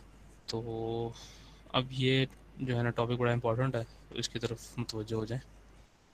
और जिसका कोई काम रह गया वो बाद में कर ले। ठीक है? ग्रुप में शेयर कर दीजिएगा बाद में। अच्छा देखिएगा ज़रा इधर। अब वो आपको ना ऑब्जेक्ट ओरिएंटेड डिज़ाइन के बारे में बताएगा। और अब हमें केस स्टडी पढ़ेंगे। और उसके अंदर से हम ये एक्सेस यानी कि ये हम जो है वो चीज़ डिटर्मिन करेंगे कि उसमें कितनी क्लासेस बन सकती हैं और कैसे हम प्रॉब्लम को सॉल्व करेंगे। तो one of the first steps in creating an object oriented application एक ऐसी एप्लीकेशन जो कि ऑब्जेक्ट ओरिएंटेड है मतलब क्या? ऐसी एप्लीकेशन जिसमें क्लासेस आपने यूज़ की हुई हैं। उसका पहला स्टेप क्या होता है कि आप क्लासेस को आइडेंटिफाई करें कि आपकी एप्लीकेशन में कितनी क्लासेस यूज़ होंगी, ठीक है?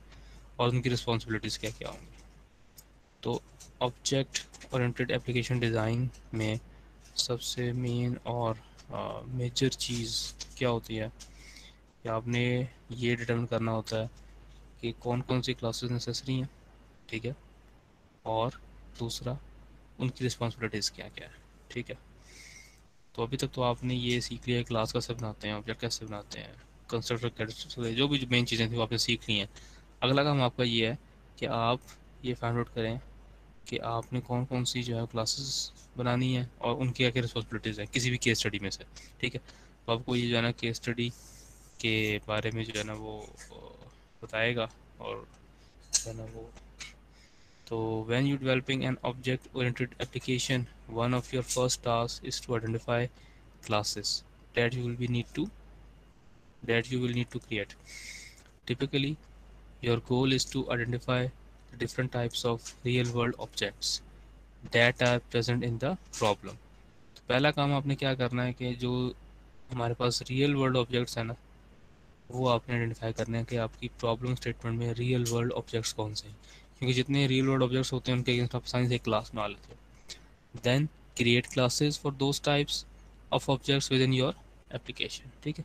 और फिर जो है वो आप वो क्लासेस बना देंगे simple Over the years, software professionals have developed numerous techniques for finding the classes in a given problem. One and simple popular technique involves the following step. तो ये आपको जो है ना वो एक टेक्निक बता रहा है जिसमें तीन स्टेप्स हैं ये टेक्निक आपको इस चीज़ में मदद करेगी कि एक प्रॉब्लम स्टेटमेंट में से एक केस स्टडी में से कैसे आप क्लासेस को आइडेंटिफाई करोगे तो get a written description of a problem domain ठीक है तो ज़ाहिर सी बात है जो प्रॉब्लम आप सॉल्व करने जा रहे हो, वो आपके पास रिटर्न भी हो मतलब डिस्क्रिप्शन आपके पास उसके भी रिटर्न मौजूद हो। Identify all nouns including pronouns and noun phrases in the description each of these is a potential class तो पहली बात यह कि जो भी आपके पास प्रॉब्लम डोमेन है, उसका डिस्क्रिप्शन जो है, उसमें जितने नाउन्स हैं प्रोनाउंस हैं या नाउन फ्रेजेज हैं, वो सारी की सारी क्लासेस बन सकती हैं।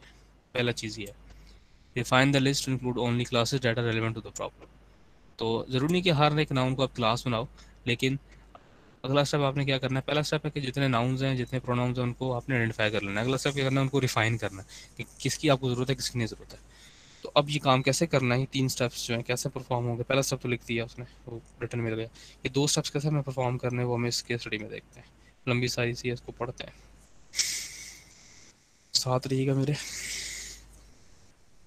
The problem domain is the set of real-world objects, parties, and major events related to the problem.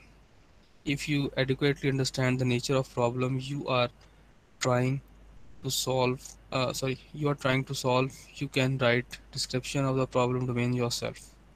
Okay.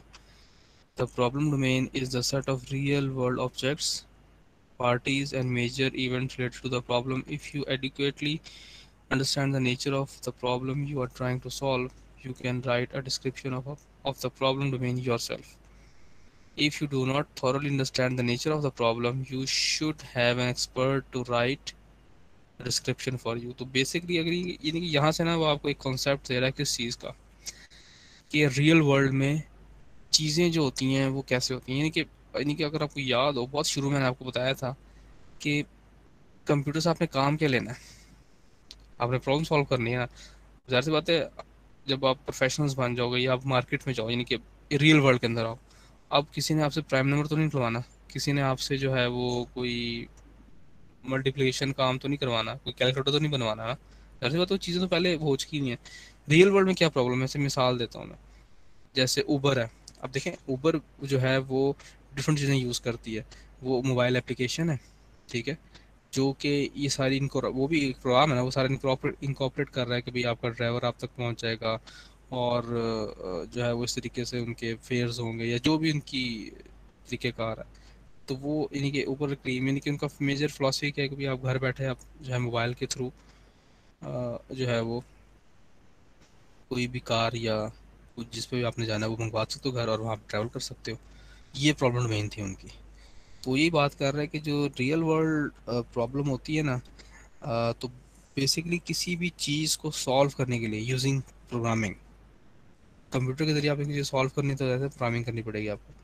तो वो करने के लिए आपका सबसे पहले किस चीज़ में एक्सपर्ट होना ज़रूरी है कि जो नेचर ऑफ़ प्रॉब्लम है, आप उसको जानते हो। प्रॉब्लम है क्या, उसका डोमेन क्या, उसको आपको पता हो अच्छे तरीके से। फिर ही जो है वो आप उसको जो है सॉल्व कर सकते हो। अगर आपको नेचर का नहीं पता होगा तो फिर प्रोग्राम लिखना तो दूर की बात है। ठीक है?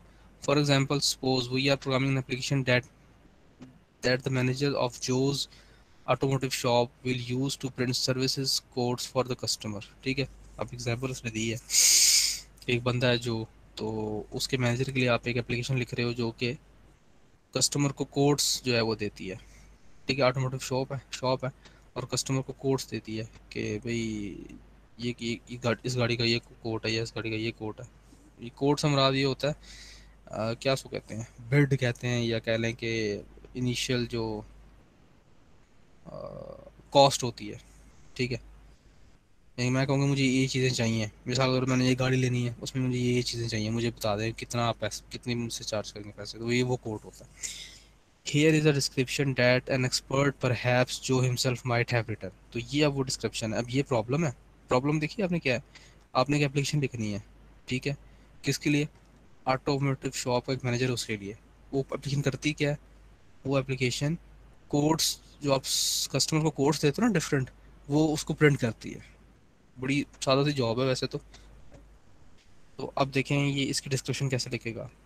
Joe's automotive shop services foreign cars and uh, and specializes in servicing cars made by Mercedes uh, इसको हम क्या प्रोनाउंस करेंगे? सर पोर्च पोर्च हाँ एन बी एम डब्ल्यू ये भी ये भी कोई टाइप है कार्स की?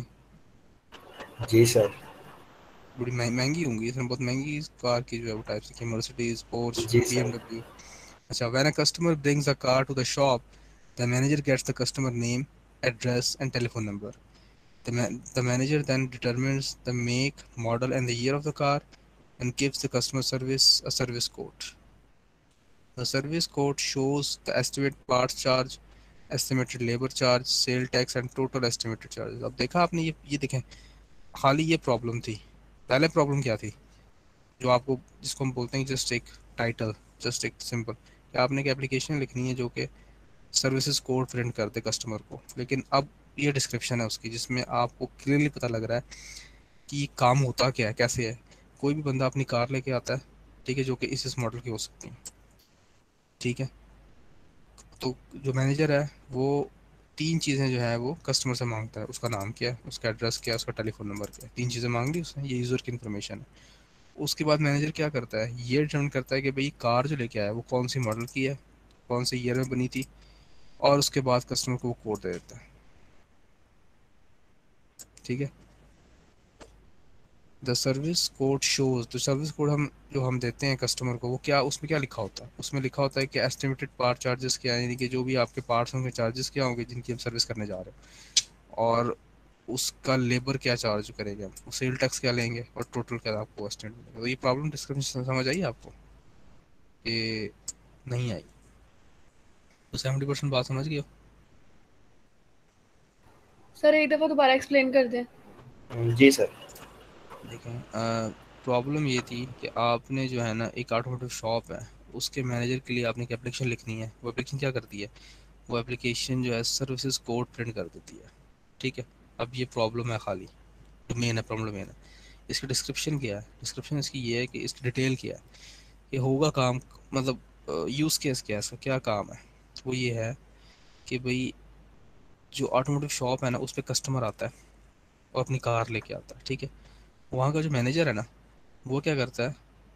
और कार जो है, वो तीन किस्म की जो है, वो है, जहाँ उसने बताई मर्सिडीज़ है पोर्स है और बी है।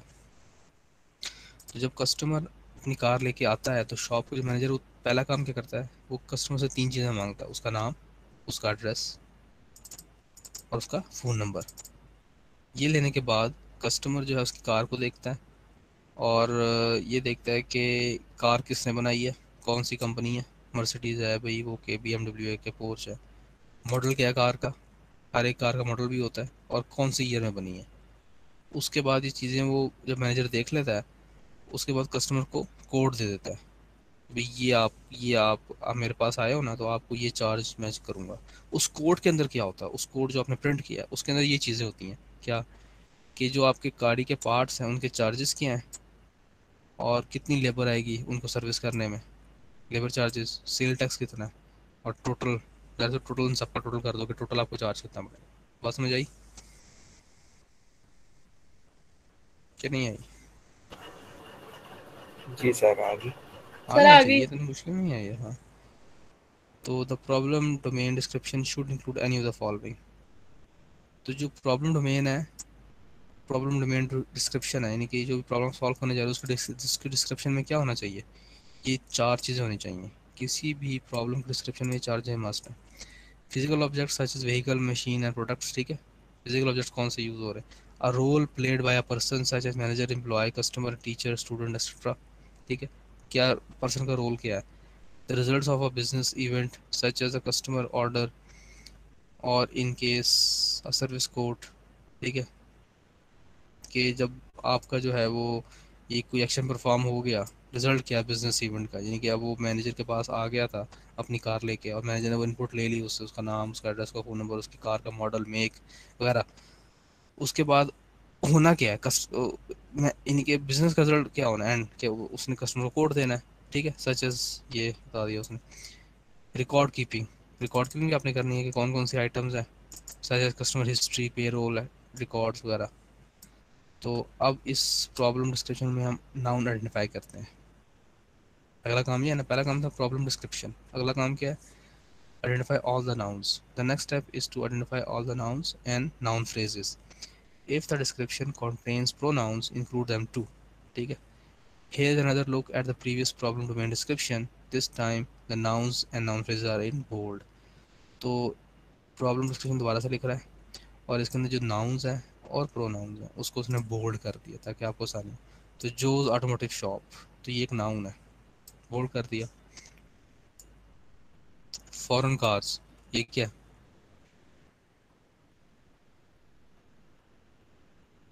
नाउन क्या है जी? नाउन है ये भी ठीक है। जो कार्स लेके आते हैं वो फॉरेन मेड होती हैं। ठीक है ये कार्स ये क्या है? ये भी नाउन है। ये मर्सिडीज पोर्स बी ये भी नाउन है। ठीक है ना? वैन कस्टमर अब ये क्या? है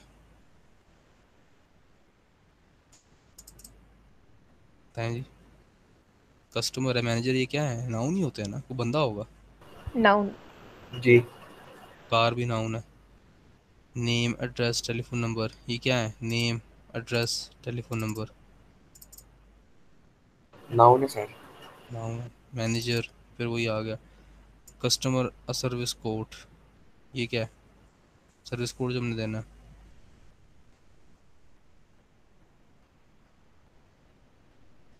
ये भी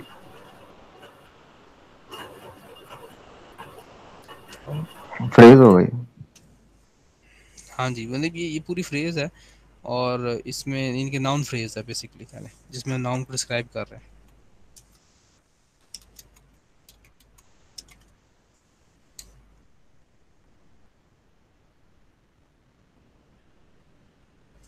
ठीक है? तो ये देखें ना, ये भी नाउन फ्रेज हमारे पास है। कस्टमर सर्विस कोड और ये estimated part charges estimated labour charges ये सारे के सारे क्या है? नाउन फ्रेजेस हैं बेसिकली नाउन फ्रेजेस है ना नाउन को डिस्क्राइब कर रही है। प्रोनाउन या नाउन फ्रेजेस हैं ये। तो ये उसने बोल्ड कर दी हमारे पास। ये चीज़ें जो कि आपको नज़र आ रही हैं बोल्ड हुई हुई। ये सारे सारे क्या है? नाउन्स हैं, जो कि क्लास बन सकते हैं, जिसका आप एक ऑब्जेक्ट बना सकते हो, ठीक है? अब अगला काम क्या। है ये लीजिए, हमने लिख लिया। सारे नाउन्स इस तरीके से। ठीक है जी? पहला काम था डिस्क्रिप्शन को लिखना। लिख लिया? सॉरी ये। अगला काम था उस डिस्क्रिप्शन में से नाउन्स को आइडेंटिफाई करना। कर लिया हमने ये सारे। एड्रेस है बी एमडब्ल्यू कार कार वगैरह वगैरह वगैरह बहुत सारे। अब इस लिस्ट को क्या करना है? रिफाइन करना है रिफाइन रिफाइन कैसे करना है? The nouns that appear in the problem description are merely candidates to become classes ठीक है? It might not be necessary to make the classes for all of them तो ये जितनी चीज़ें यहाँ पे लिखी हैं, ये पोटेंशियल कैंडिडेट्स हैं, जो कि नाउन बन सकते हैं। यानी कि इनका इम्कान है कि नाउन बन सकते हैं। लेकिन ज़रूरी है कि हर एक नाउन बने। बास को हम निकाल देंगे, इसमें ज़रूरत नहीं होगी। Next step is to refine the list to include only the classes that are necessary to solve the particular problem at hand we will look at the common reasons that a noun can be eliminated from the list of potential classes. ठीक है? अब हमने ये देखना है कि क्या वो रीजंस हैं जिनकी वजह से हम इसमें से उन पर कट लगा देंगे जो कि नाउन जो कि क्लास नहीं बन सकते। अगर हमें नहीं चाहिए। ठीक है?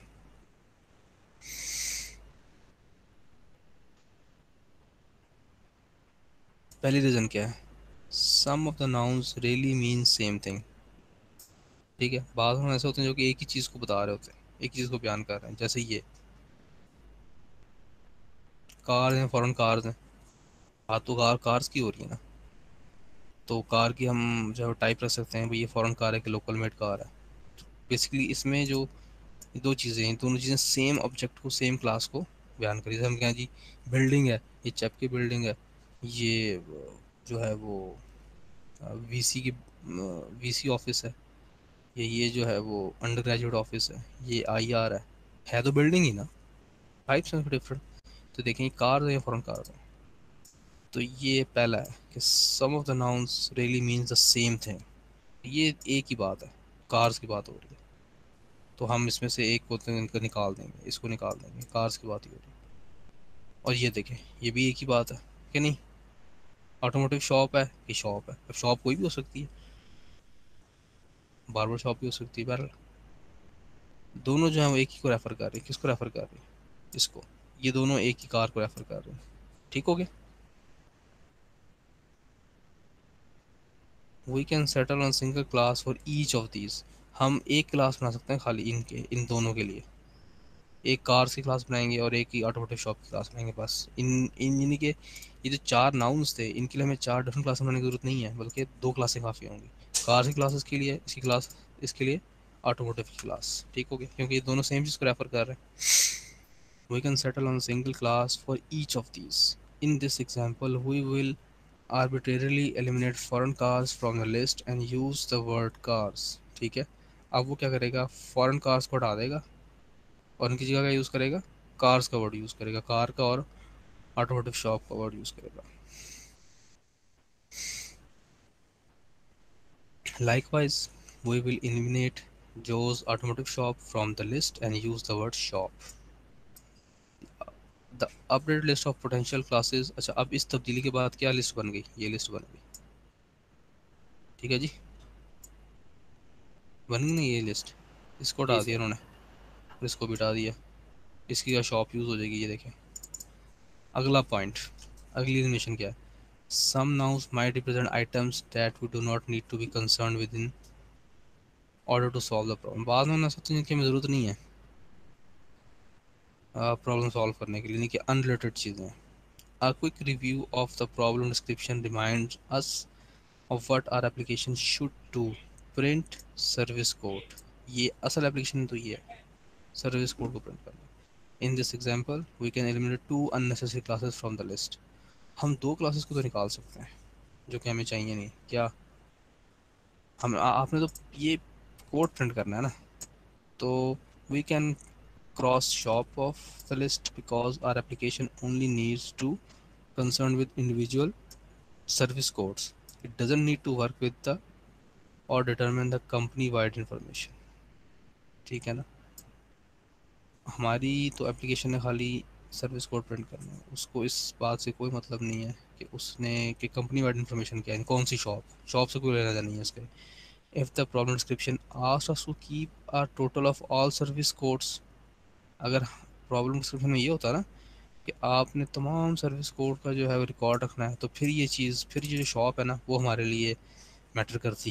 लेकिन चूँकि आप अपने खाली सर्विस कोड को प्रिंट करना है और कुछ नहीं करना रिकॉर्ड नहीं रखना उसका, बस प्रिंट कर दिया तो कर दिया। उस, इस इस केस में शॉप जो है वो हमारे लिए अनरिटेड नाउन है। वो वो नहीं हमें चाहिए। तो कब चाहिए होता है जब वो हमें कहता है कि आपने तमाम सर्विस कोड का टोटल रखना है। तो then it would make sense to have a class for the shop इसी तरह मैनेजर को, हम जो है क्या करेंगे? ये निकाल देंगे। क्यों निकाल देंगे?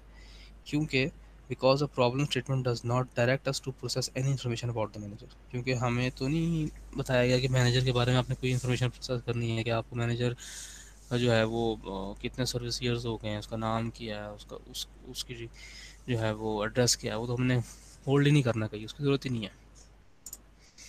ठीक है ना? तो इसलिए मैनेजर्स को भी मैनेजर वाली क्लास जो है, उसको भी हम निकाल देंगे। If there were multiple shop manager अगर हाँ मल्टीपल शॉप मैनेजर होते and the problem description had asked to record which man generated each service code then it would make sense to have class for manager तो manager को हमने इसलिए निकाल दिया, क्योंकि इसके बारे में कोई इन्फॉर्मेशन नहीं रखनी है, कि भाई कौन सा मैनेजर था, क्या नाम था उसका, किसने प्रिंट किया, कितने मैनेजर्स हैं। ऐसी कोई चीज़ हमसे नहीं मांगी गई है तो इसलिए हम मैनेजर की क्लास को निकाल देंगे, और अगर ऐसी कोई चीज़ मांगी जाती तो हम इसको साथ रखते हैं। समझ आ रही है कि नहीं आ रही है? कि मैं खाली बस बोलता जा रहा हूँ। और आपके ऊपर से होती जा रही है। बताएँ जी। हाँ सर आ रही है। एक एक बच्चे को आ रही है। सर मेरी सर आ रही बहुत अच्छा। तो पहला स्टेप था जो रिपीट कर रहा हूँ। डिस्क्रिप्शन लिखना। दूसरा स्टेप था नाउन को एलिमिनेट करना। नाउन को एलिमिनेट करने के अंदर हमारे पास क्या काम था? पहले तो वो जो जो नाउन सेम है, उनको एलिमिनेट कर दें, जो सेम जिसको रिप्रेजेंट कर रहे हैं। उसके बाद अगला, उन नाउन्स को निकाल दें जिनका हमारी प्रॉब्लम से कोई लेना देना नहीं है, ठीक है? तो जी अब ये लिस्ट बन गई। मैनेजर को निकाल दिया, शॉप को निकाल दिया, ठीक हो गया? तीसरा पॉइंट क्या है। Some of the nouns might represent objects, not classes. पास जो नाउन है ना, वो क्लासेस को ऑब्जेक्ट्स को रिप्रेजेंट कर रहे होते हैं, क्लासेस को नहीं करते। अच्छा जी यहाँ पे मैं आपसे क्वेश्चन कर पूछूँ ऑब्जेक्ट और क्लासेस में क्या फ़र्क है?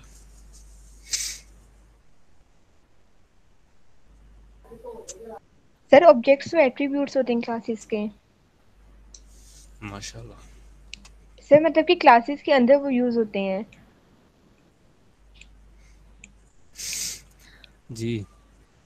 सर जैसे अभी क्लास है सर ऑब्जेक्ट्स वो होते हैं कि अगर हम लोग जो है क्लास को देख के बता सकते हैं कि हम लोग कौन कौन सा ऑब्जेक्ट जो है वो बनाएँगे।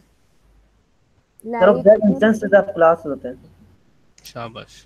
ये बच्चा ने सही बोला। भाई ये देखो ना ये है क्लास जो कि स्पेसिफिकेशन क्लास क्या होती है? स्पेसिफिकेशन होती है खाली। असल जो ऑब्जेक्ट है ये ये जो ऑब्जेक्ट है दिस इज़ ऑब्जेक्ट जो कि इस क्लास की रियलाइजेशन है या इसका इंस्टेंस है। तो ऑब्जेक्ट्स जो होते हैं वो क्लास के इंस्टेंसेस होते हैं। इन अदर सेंस वही बात हो गई कि हम लोग क्लासेस को देख के बता सकते हैं कि हम कौन कौन से ऑब्जेक्ट्स बना सकते हैं। यानी अगर जैसे इंसेक्ट की क्लास है तो हमें पता है कि इंसेक्ट में हाउस फ्लाई होता है और ये सब होता है। नहीं नहीं नहीं। आप मुझे बताएँ कि ये क्लास है टीचर की। इसको देख के बताएँ कौन कौन सा ऑब्जेक्ट बना सकता हूँ मैं इसका?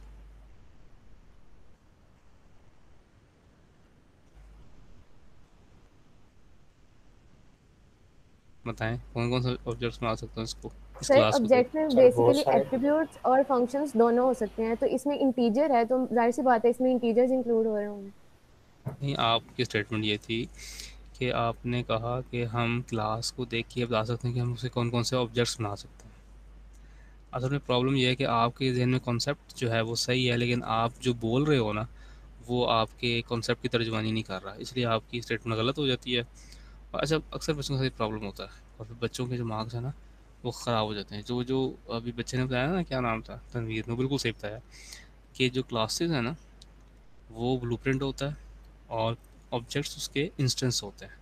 तो देखें ये ये, ये जो है ना ये ये नंबर्स ये ऑब्जेक्ट है इसको मेमोरी में जगह मिली है और वो इस टाइप का है। ये जो क्लास है क्लास ऑफ़ स्पेसिफिकेशन होती है। ऑब्जेक्ट उसकी रिलेशन होती है ऑब्जेक्ट उसका इंस्टेंस होता है। तो some of the nouns might represent objects तो बाज़ नाउन जो है ना ऑब्जेक्ट्स को रिप्रेजेंट कर रहे हैं क्लासेस को नहीं कर रहे होंगे।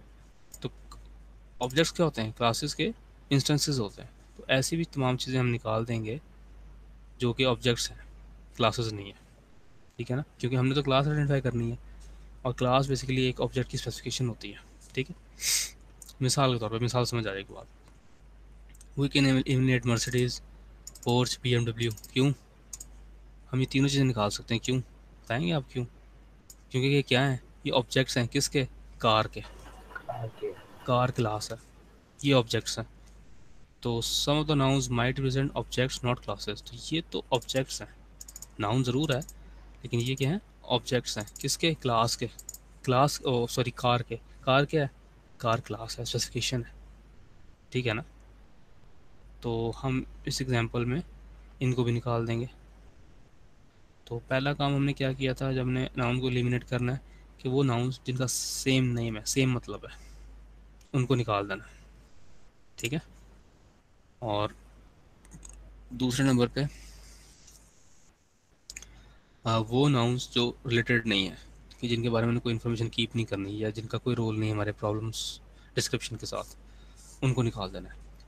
तीसरे नंबर पे उन ऑब्जेक्ट्स उन चीज़ों को निकाल देना है जो ऑब्जेक्ट्स हैं क्लासेस नहीं है। जैसे ये आपको एग्ज़ाम्पल दी मर्सिडीज पोर्स पी ये सारे कार के ऑब्जेक्ट्स हैं। ये इट्स क्लासेस नहीं है। ठीक हो गया? तो ये इट्स जो कार से बिलोंग करते हैं। तो इसको निकाल दिया हमने। ठीक हो गया? अब देखेंगे हमारे कुछ चीज़ें बच गई हैं। Some object oriented designer take note of whether noun is uh all singular sometimes a plural noun will indicate a class and single noun will indicate a object ये इसने आपको बताई है। आइडेंटिफाई करने के लिए कि आपने आइडेंटिफाई करना हो नाउन्स में से, कौन सा नाउन जो है वो क्लास है, कौन सा नाउन ऑब्जेक्ट है। तो उसकी एक उसने आपको बताई है चीज़ क्या, जो नाउन प्लूरल है, जमा का नाउन है प्लूरल नाउन है, वो क्या होता है, वो क्लास को इंडिकेट कर रहा होता है, जैसे कार्स ठीक है? और सिंगुलर नाउन जैसे बी है या पोर्च है या मर्सिडीज है वो सिंगुलर नाउन है वो किसको इंडिकेट करता है? ऑब्जेक्ट को ठीक है? तीन काम हो गए समझ आ गई यहाँ तक बात? चौथा काम। some of the nouns might represent simple values that can be stored in a variable and do not require a class. बाद नाउन ऐसे होते हैं जिनको आप जिनकी वैल्यू को आप स्टोर कर सकते हो वेरिएबल्स के अंदर। उसके लिए आपको क्लास बनाने की ज़रूरत नहीं है। वो बेसिकली एट्रीब्यूट्स बन जाते हैं क्लास के। Remember a class contains attributes and member functions ठीक है ना? पुरानी बात।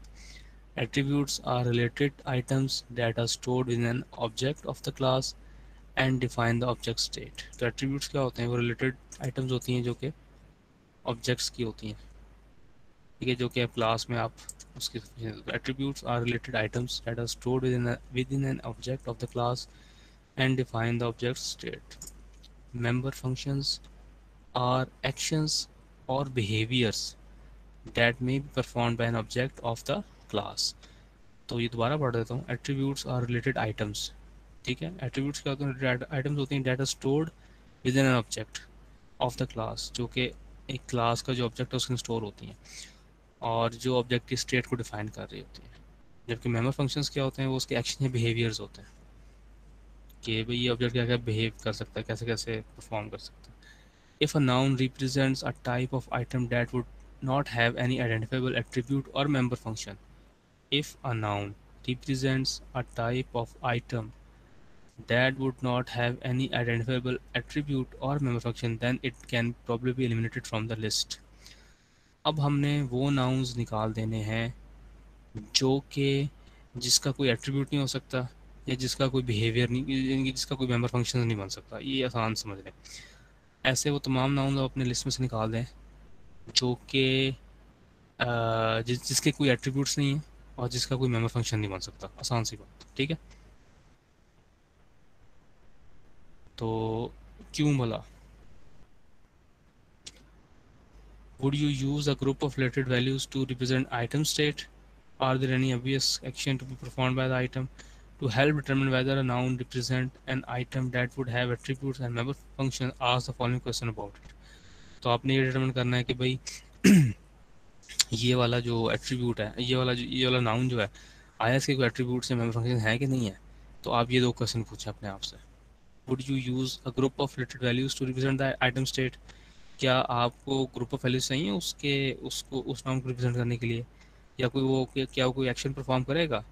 तो आप देखें, अब आप देखें ज़रा, ये noun address estimated labour charges estimated part charges make model name sales tax telephone number ये जितने इसने बोल्ड किए हैं, ये सारे के सारे वो वैल्यू वो नाउन्स हैं, जिनके कोई एट्रीब्यूट्स या जिनके कोई मेंबर फ़ंक्शन नहीं हो सकते। भाई, अब मेक है ये तो सेव हो जाएगा। मॉडल कौन सा है? वो सेव हो जाएगा, कोई वैल्यू होगी। नेम भी कोई वैल्यू है।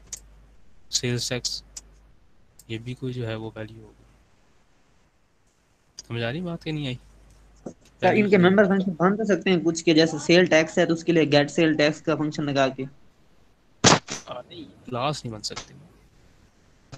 सेल्स टैक्स एक मेंबर एट्रीब्यूट बन सकता है। सेल्स टैक्स के अंदर कोई ऐसे एट्रीब्यूट नहीं सेल्स टैक्स का क्लास नहीं बना सकता दूसरे लफ्जों में ये कहना चाह रहे हैं।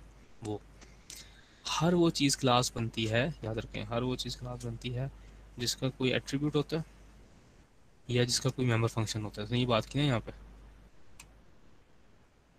If a noun represent a type of item that would not have any identifiable attributes or member functions तो वो आप एलिमिनेट कर सकते हो। तो ज़ाहिर सी बात है क्लास वो चीज़ बनती है जिसके अंदर कोई एट्रीब्यूट्स होते हैं और जिसके अंदर मेंबर फ़ंक्शंस होते हैं।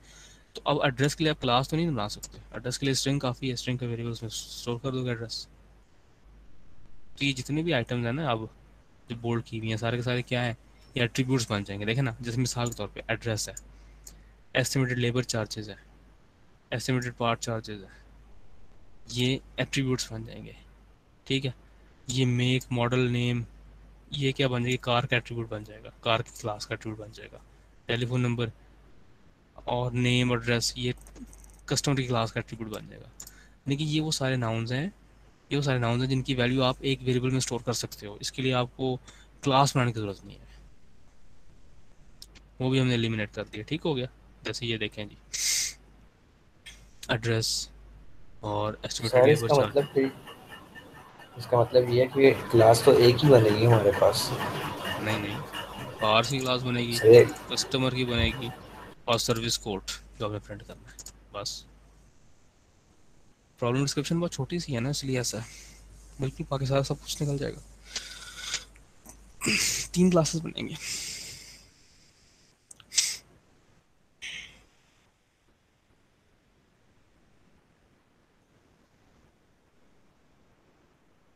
तो प्रॉब्लम डिस्क्रिप्शन के ऊपर हमने सारे नाउन्स आइडेंटिफाई किए, फिर उन नाउन्स को एलिमिनेट किया। उन नाउन्स को एलिमिनेट करने के लिए चार जो है हमारे पास चीज़ें थी। पहली चीज़ थी कि जो सेम नाउन है सेम चीज़ को एक्सप्लेन कर रहे हैं, उनको निकाल दें।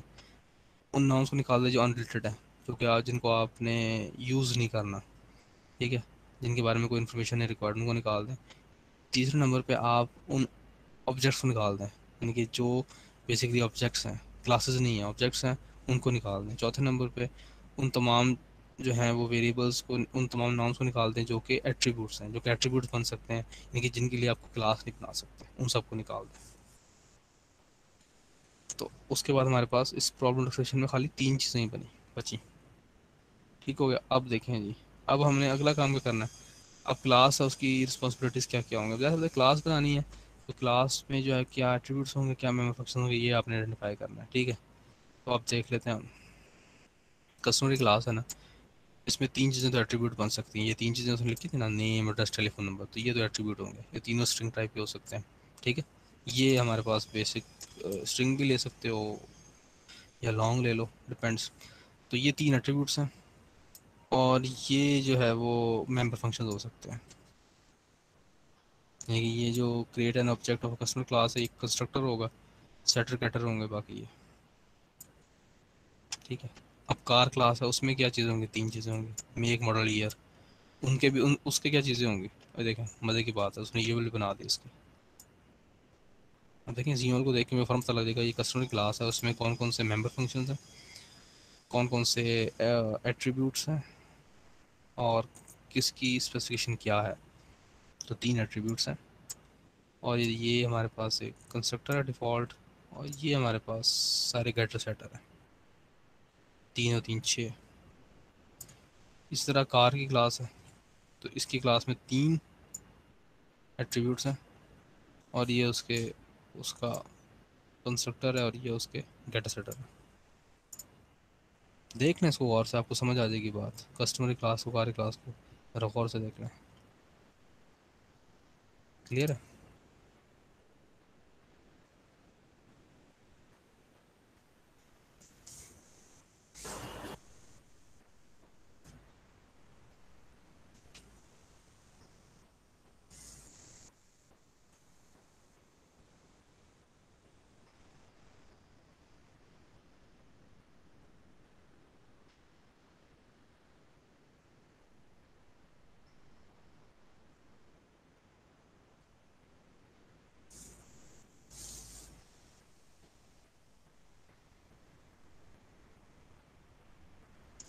सर जो हमने ये डायग्राम बनाई है सर ये जब आप एक दफ़ा दोबारा बताइए जब हम मतलब कि मेंबर फ़ंक्शन की इस तरह डायग्राम जी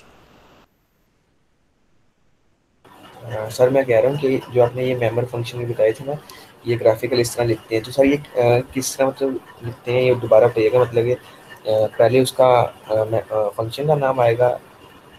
ये देखें ये है वेरिएबल का नाम ये उसकी टाइप वेरिएबल का नाम ये टाइप। सर नीचे नीचे वाले नीचे वाले फ़ंक्शन का नाम ये उसकी स्पेसिफिकेशन है प्लस का मतलब है कि पब्लिक है। फ़ंक्शन का नाम ये उसकी ये उसके जो इनपुट पैरामीटर है उसका नाम और उसकी टाइप और ये उसकी return type function return type ऐसे होता है। ठीक है सर। सर अगर जस्ट उसकी पैरामीटर की टाइप ही हमें गिवन हो, हम पैरामीटर ना गिवन हो तो उसके लिए खाली स्ट्रिंग लिखेंगे, जैसे आपने अभी बताया कि इसका पैरामीटर का नाम और उसका आगे टाइप हाँ आप स्ट्रिंग भी लिख दो, लेकिन बेहतर है कि आप ये, इसने नाम दिया मैंने, आप भी नाम दे दें। जो कि ऑफ़ कोर्स नाम चेंज होंगे। और क्योंकि हमें टाइप बतानी है तो साथ नाम भी बताएँगे। सर सर्विस कोड जी। सर अगर स्ट्रिंग के अलावा इंटीजर भी पास हो रहा हो उस फ़ंक्शन को तो हम वो दो चीज़ें लिखेंगे इसके अंदर। क्या हो रहा? सर देखिए अभी स्ट्रिंग एम और स्ट्रिंग लिखा हुआ है उसकी डाटा टाइप है। इसके अलावा अगर एक और हो वो डबल में हो तो हम ऐसे लिख देंगे साथ ही। कोमा ठीक है सर कोमा लिख देंगे। सर और डिस्ट्रक्टर में हम लोगों को टिल्डा लगाना पड़ेगा प्लस के बाद। हम्म। ज़ाहिर सी बात नहीं तो वो कंस्ट्रक्टर बन जाएगा।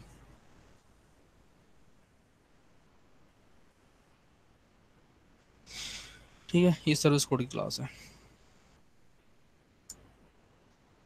जिसमें हमारे पास पार्ट चार्जेस क्या है, उस पार्ट के चार्जेस क्या हैं, उस लेबर के चार्जेस क्या है। हर एक हर एक सर्विस कोड के अंदर पार्ट चार्जेस होंगे लेबर के चार्जेस होंगे।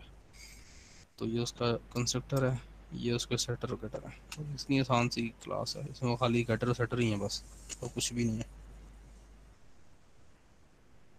तो this is only the beginning ठीक है you should look at the process that we have discussed in this section as merely a starting point.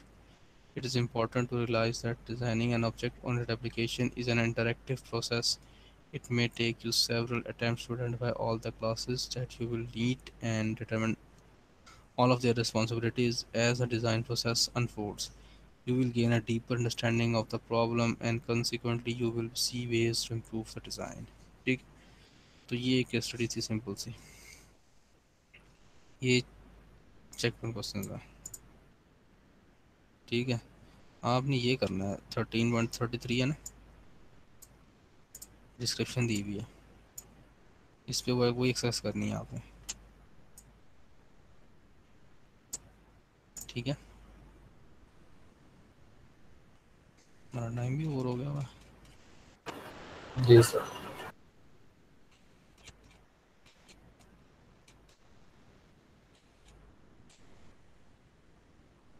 इसमें क्या आ रहा है?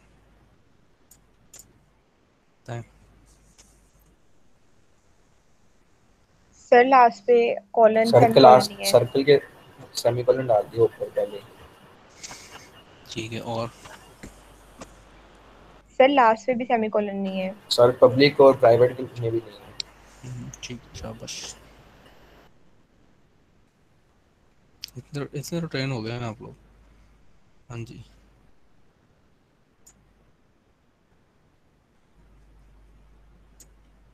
ठीक है इसको हम करते हैं। कुछ हम प्रॉब्लम्स करेंगे इंशाल्लाह अगली क्लास के अंदर ठीक है? तो ये आपका जो है वो आज चैप्टर ख़त्म हो गया हुआ है चेक वन क्वेश्चन कर लीजिएगा। खास तौर पे बड़ा इंपॉर्टेंट है ये वाला जो है। थर्टीन पॉइंट थर्टी थ्री जो था। प्रॉब्लम डिस्क्रिप्शन में से कैसे आपने आइडेंटिफाई करना है।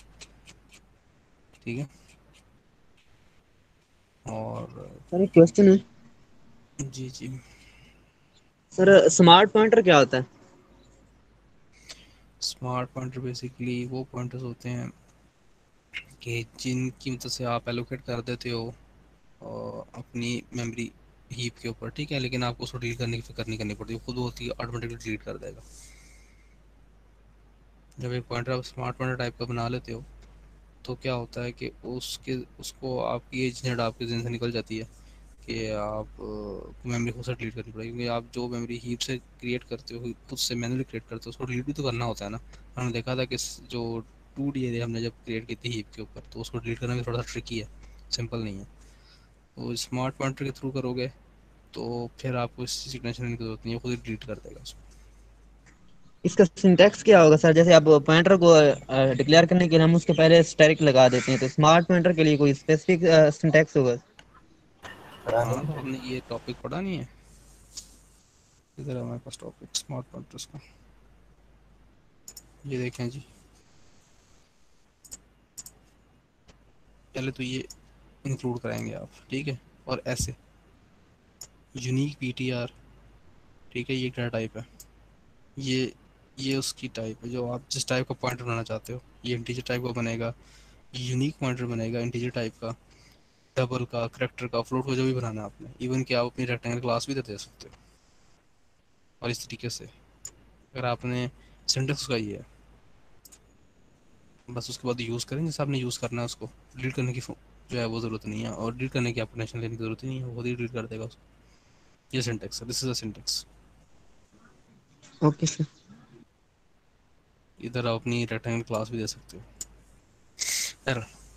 ठीक हो गया। अल्लाह ठीक है जी चलें फिर हम जो है वो